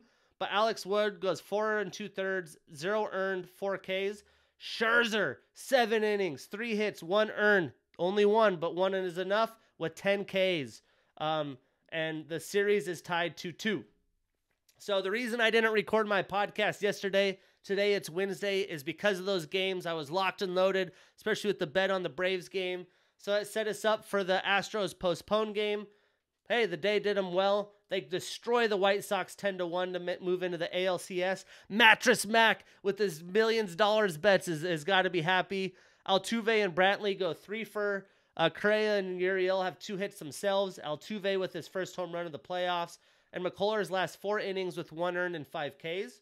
On the White Sox side, Gary Sheets two for four. He goes yard. Uh, the young DH with his first playoff home run. Uh, Carlos Rodon only lasts two and two thirds, gave up two earned and three Ks. Kopech comes up and gives three earned, and Liam Hendriks with three earned at the end of the game. Their season's over. On to next year. Uh, the Braves finished the Brewers five to four. What a game this was! Um, I was going to record my pod and I couldn't because the game was too good, and then it was too late after watching a few innings of the Dodgers game. I moved to today, but uh, Lorenzo or yeah, Lorenzo Cain, two for four, the old vet. Tellez, another dinger for the Brewers. This guy hits dingers. Uh, Eric Lauer, three and two thirds, two earned, two Ks. And for the Braves, Freddie fucking Freeman, three for five with the clutch home run in the eighth inning to win the game. Uh, Ozzie Albies and Duvall with two hits themselves. And Morton only pitched three and a third with two earned and five Ks, but the bullpen uh, did justice. And how about this guy, Tyler Matzek, who has been in very clutch moments this whole series at 30 years old, a guy that's been all over the league, uh, came from Colorado, went to Atlanta, had years out of the league, went to AAA, was in AA, came back and pitching nails in the biggest moments of his career. And then lastly, the Dodgers tie up the series 2 to 2 as they handily beat the Giants 7 to 2. Uh, the top of their lineup goes nuts. Mookie, uh, Corey Seager, uh, Trea Turner, Will Smith, and Gavin Lux all get two hits. So does Cody Bellinger. Big moments for him. Um, Mookie Betts gets his first playoff home run. Will Smith with the second. Buehler pitches four and a third with an earned and four Ks. Uh, DeSclafani only lasts an inning and two thirds. He gives up two earned and two Ks. The bullpen couldn't make up for it. And Kris Bryant goes two, uh, gets two hits on the day, which sets us up for uh, the, the big, big NLDS Game 5 Battle of Cali. The Giants, the 107 win Giants versus the 106 win Dodgers in the freaking NLDS to move into the NLCS and face um, the the surprising Braves. So we have that game Thursday on TBS 607 p.m. Thursday night football, playoff baseball. You gotta love it. You gotta love it. Um, obviously, I did my playoff predictions. I have uh, um, Dodgers winning it all. I have the Astros in the ALCS, but I had them against the Rays, and I had the Rays winning going to the World Series. And then I had the Do- uh, Braves versus the Dodgers, so Game Five is going to be fun. Um, some headlines around the league: the Padres obviously fired Jayce Tingler. Um, again, shout out to Chris Taylor having the walk-off uh, home run in the one-game wild card with two outs in the bottom of the ninth. Justin Turner keeping the minute, always hitting playoff home runs. Randy Arozarena, what a game this was. First player in MLB history to hit a home run and still home in the same game. Uh, that was insane. I missed the home run stolen live, but saw the the video, and that was that was nuts. And um, the throw Kevin Kiermaier had in Game Four of the the Rays Red Sox to to get him to uh, to throw him out at home was freaking insane. And then Kiki Hernandez walking it off. All those ex utility guys for the Dodgers coming through with their teams. Um, you know, the White Sox accusing the Astros. I'm sure that put some venom in them as they finished them uh, on that last game uh, a couple days ago. Other than that, closing out the show, some other sports headlines. Uh, ben Simmons is back at Philly. Yeah, I, I didn't see a lot of teams wanting him. Him and the Kyrie Irving situations are very interesting to say the least. Uh, the USA Soccer had another round of games for the uh, CONCACAF. They had uh, beat Jamaica 2 to 0. Pepi, with his first start, scores both goals, the young stud. They turn around and lose to Panama with not as many stars in the lineup. They play Costa Rica today. Uh, J.R. Smith making his debut as a collegiate golfer, looking good. Stepped on a beehive and had some bee issues, but uh, crazy to see him playing collegiate golf. Um, the Nets deciding to sit Kyrie Irving until he's vaccinated, so he won't be involved with the team. Will be interesting to see how this shakes out. There's lots of different thoughts and ways to analyze this on both ends of the spectrum. It's a personal choice. You know, he is seen as like a, a, a, definitely a deep thinker. He was on like the flat earther for a while. He has a lot of crazy thoughts. It's his choice. He plays for a team that affects the team. Um, yeah, I don't know how to feel about it. There's a lot of ways. You know, I I don't want to make my show about this drama. Like this is the main story in ESPN for most of the day. But uh, I would assume he fi- he he gets the vaccine. You know, me personally, did I want it? No. Do I have it? Yes. Uh, it, it's just kind of the way it works. You know, um, hopefully he gets it for the, for the sake of the Nets. And then the NHL season starting this week. Last night, the Seattle Kraken in their first inaugural game, um, looking pretty bad early. I think it was three to zero. You know, release the Kraken, the, the most common phrase in sports here lately. Um, they come back three to two, ended up losing. Uh, but ESPN having the Avs ranked number one in their preseason power rankings for potential to win the the uh, Stanley Cup. So let's go Avs. I won't be diving into hockey on a weekly basis. Uh, you know, I do college sports, basketball, football, NFL, NBA, baseball. I just don't have enough time to consistently watch hockey to really analyze it. I look at the scores, I track my teams, I'll, I'll see what's happening with the Kraken, but we will wait till playoff times to dive in there. But shit, guys, Business and Buckets episode 50. We out here. Uh, if you haven't, spread the word, be a friend, spread the word, like, subscribe, comment, add what your thoughts are. I would love for you guys on the YouTube to tell me who you think will win the Stanley Cup this year, and also who do you have winning the end uh, the World Series at this point in the playoffs. And uh, would love to give you guys shout outs on the show. You know, it's uh, early in the show. Any things you guys want me to dive into, I can.